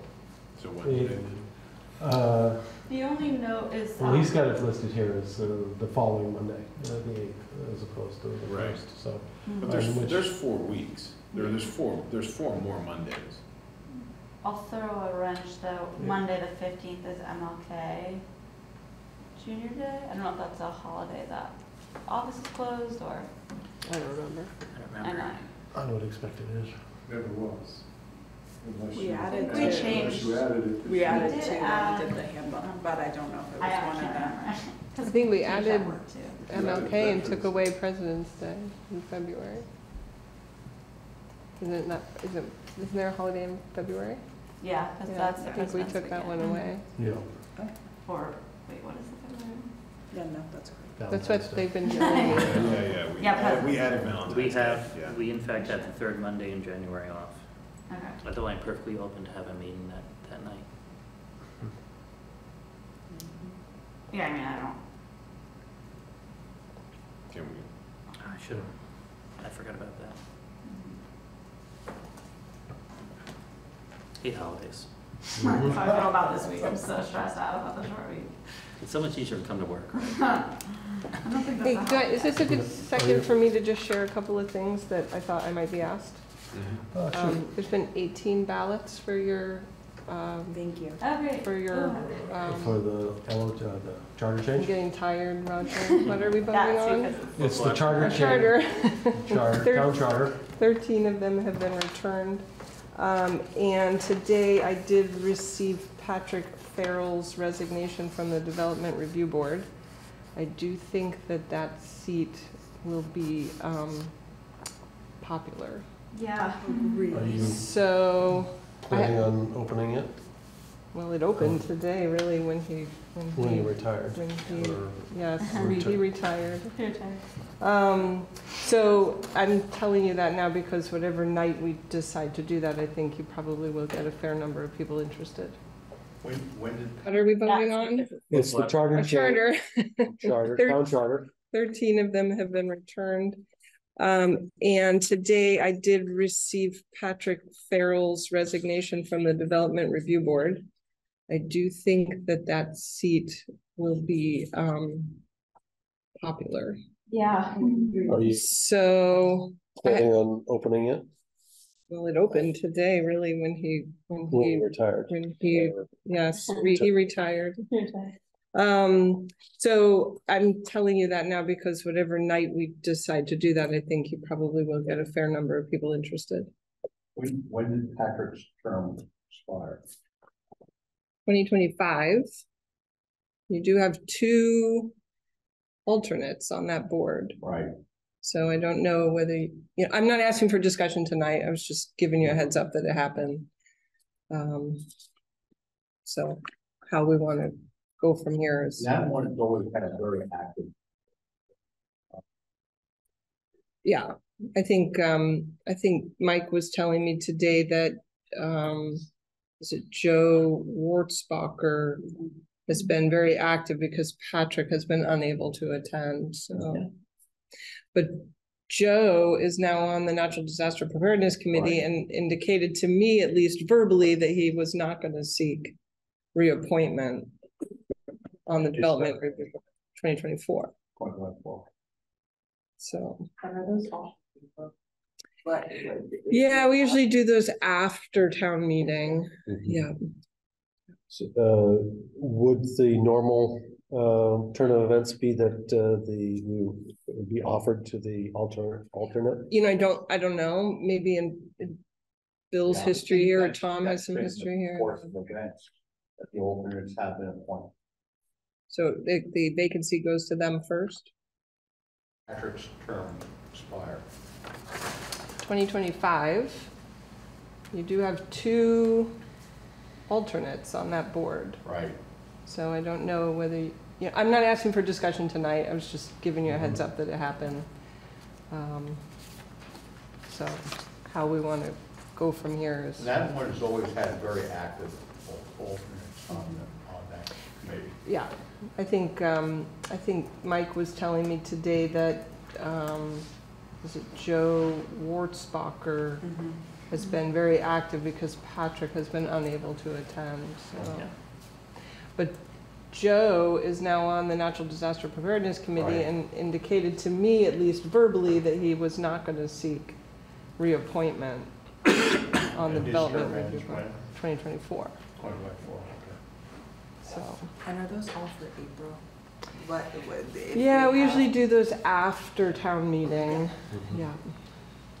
Uh, would the normal, uh, turn of events be that, uh, the, we would be offered to the alternate, alternate? You know, I don't, I don't know, maybe in, in Bill's Yeah, history think here, or that's- Tom has some history been here. the course of events, that the alternates have been appointed. So the, the vacancy goes to them first? I, I don't know, I didn't, I got I this don't late. know if there's ever been a it's a purpose total for an procedure, alternate. but I think that's when, when I was on the board and we had alternates, usually the alternate would Would go move up? Would move up. I think that's, you know, I discussed that with the um, Conservation Commission. Mhm. Might they not consider alternates versus having such a large board and having problems with quorums? Right. So, you know, you, you could then still have a lot of worker, worker bees, but have some al- alternates who could do stuff and participate too. Yes, I, I I feel like this should be a larger conversation. Yep, Okay. Put it on the next, uh, agenda. Mm, perfect timing, next item agenda, next agenda. So, but um, to resolve MLK, I am available, and at the same time, I just think about the message that it sends, like, we certainly moved the Fourth of July, right? But having it on MLK Junior Day just doesn't display like a, a- an investment um, in the holiday, and I don't want that to be what we portray to the community, so I think it would behoove us to either move it on a different day that week or the first week of the month. Not that I want to, but Let's just put it's the something, right thing to let's do. just put, put something out there to consider, and you can tell me it's harebrained. Worked for a board once, and how we do the budget, we took a Saturday. We spent ten hours on a Saturday, and we went through the entire budget. Bill's And then we had- exiting on and then we that had- And then we had regular meetings. See you, Bill. And it was, everyone. Thank you, you too. and it was an experiment they tried one year that they loved. They love Well, you know, we were at lunch and, you know, had some pizza. Oh, but then there- they preferred that versus four or five late nights in a month. Mm-hmm. Hear me out, we do the Saturday and only one meeting in January. Jesus. Yeah.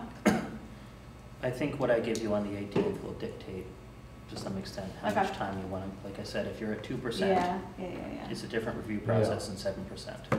Okay. Yeah. Let's, uh, So, take it till, till the eighteenth. Mhm. Where I will not be there, by the way. I will be in a different country.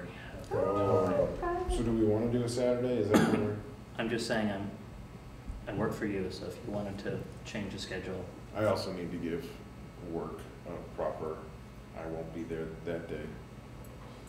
Um, Uh, Yeah, I mean, do Saturdays even work for you? I work on Saturdays, but I can, of course, tell them that I need time off. And it's November, so I should, that's proper notification. Okay. Um, But a- at this point, do we feel like we can just leave it until the 18th uh, and then see how much work is actually going to be needed? Uh, Yeah, and if I can get you something before the 18th, I will. okay. Okay.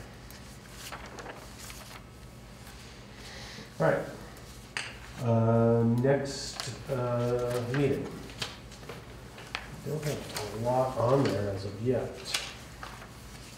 I lost my copy. Brian Boyd was planning to come tonight. It's a good thing, actually, as it turns out, uh, he didn't, because we moved at eleven o'clock. But uh, he, has he expressed that he would be available on the Mhm. fourth? Yeah, I think he'll be able to be here that, on the fourth. Okay. And how about uh, our note taker? Um, She Is she going to be available? Because she has a, uh, an important uh, duty the following day. Um, Yeah, I, I don't think you should change the meeting. Um, So we And I, I I don't wish to be here till this time, though, if I come. Nobody does? I would like it to be a brief meeting if I'm coming to it. Okay, well, so far, it's ending at seven thirty. We'll have, um, You asked for buyout training. Oh, yeah.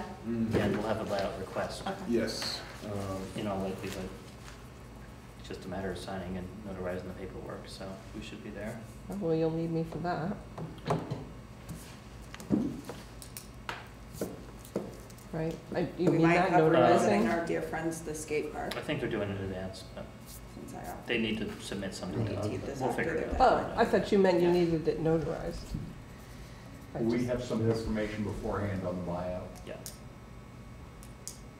I'd like to add a discussion on uh, short-term rentals. Okay. Yeah, I agree with that. Pick a time, it doesn't matter to me. I just vote after our guests. Yeah, I If think we're we having want to our hit skate the uh, event. guests first. What time did you uh, put our skate park things back? How I guess long that do you think the doesn't buyout uh, request needs to be scheduled for? Um, For now, it's just one individual property. Um, Doesn't need to take very long. Fifteen minutes? Yeah, we can And come, we buyout can nail down controversial. times, Roger. Yeah, I just was trying to get a- Sure. a sense of. uh, I mean, the, this. I don't think it's super controversial at this point. It's the, the pe- the people's, who I've talked with buyouts about have, if they all took buyouts, our grand list impact is six or seven hundred thousand dollars. It's not huge. You get one new home built in Waterbury Center and you're even from that perspective. Um, There is chatter at the State House about getting a bill that would reimburse towns for their lost grand list somehow, Yeah, which would be nice. That'd be Um, interesting. And there's no, there's no local share to the buyout. The state is covering the, the twenty-five percent we normally pay, Okay. which, which is nice, because it's tough to lose your grand list, even if it's small, and pay twenty-five percent of the buyout cost. Um, but I But believe, there could be, in total, um, the conversations with four or five property owners about buyouts, and then there's one other one who, I don't know if there's a select board role here, but he's gonna seek to raise his home. A Bunch of people are working on raising utilities, but one person wants to raise the entire home. Since this is um, more next meeting, can I recommend we continue on since we still have a big chunk on our agenda for tonight? sure.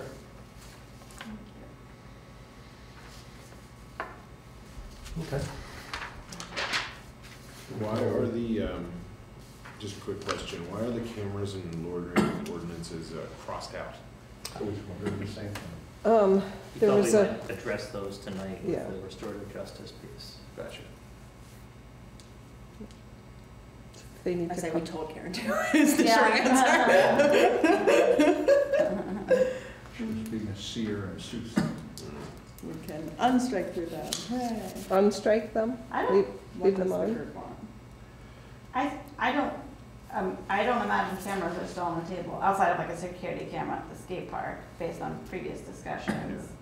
Same thing with loitering, I think noise can stay, it's been brought up a lot and we haven't gotten back to it necessarily, but I don't, I mean, that was my take, but I could be. I'll say I feel pretty unresolved on ordinances after this Yeah. presentation, not in a bad way, yeah, but in including, that like- it only including added further. RJ in like the dog bite, et cetera, but I don't, I mean, I,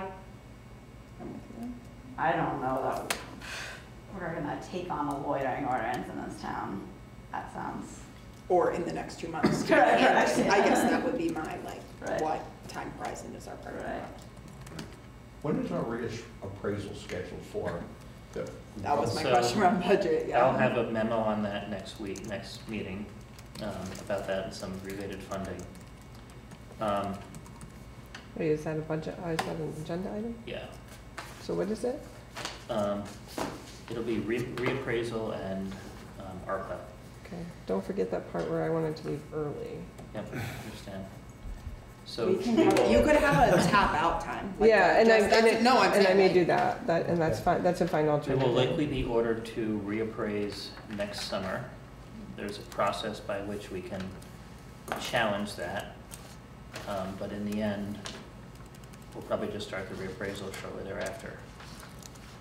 Uh, Rather than contract it out, we think there's a team of, of local municipal assessors who can collectively get it done for us. Um, you know, it's a multi-year process. I think we've got enough money in our reserve to pay for it, which is always helpful. Um, But yeah, it should start next year. Probably late towards, well, we'll have to make the commitments in the plan next year. It might not physic, might not really start boots on the ground until twenty twenty-five.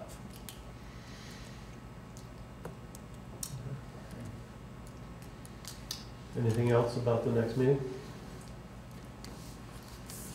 All right, let's move forward. I move that premature public disclosure of pending real estate transaction places the town at a disadvantage, so executive session. Okay, moved and seconded. All in favor, say aye. aye. Aye. Any opposed? Any abstentions?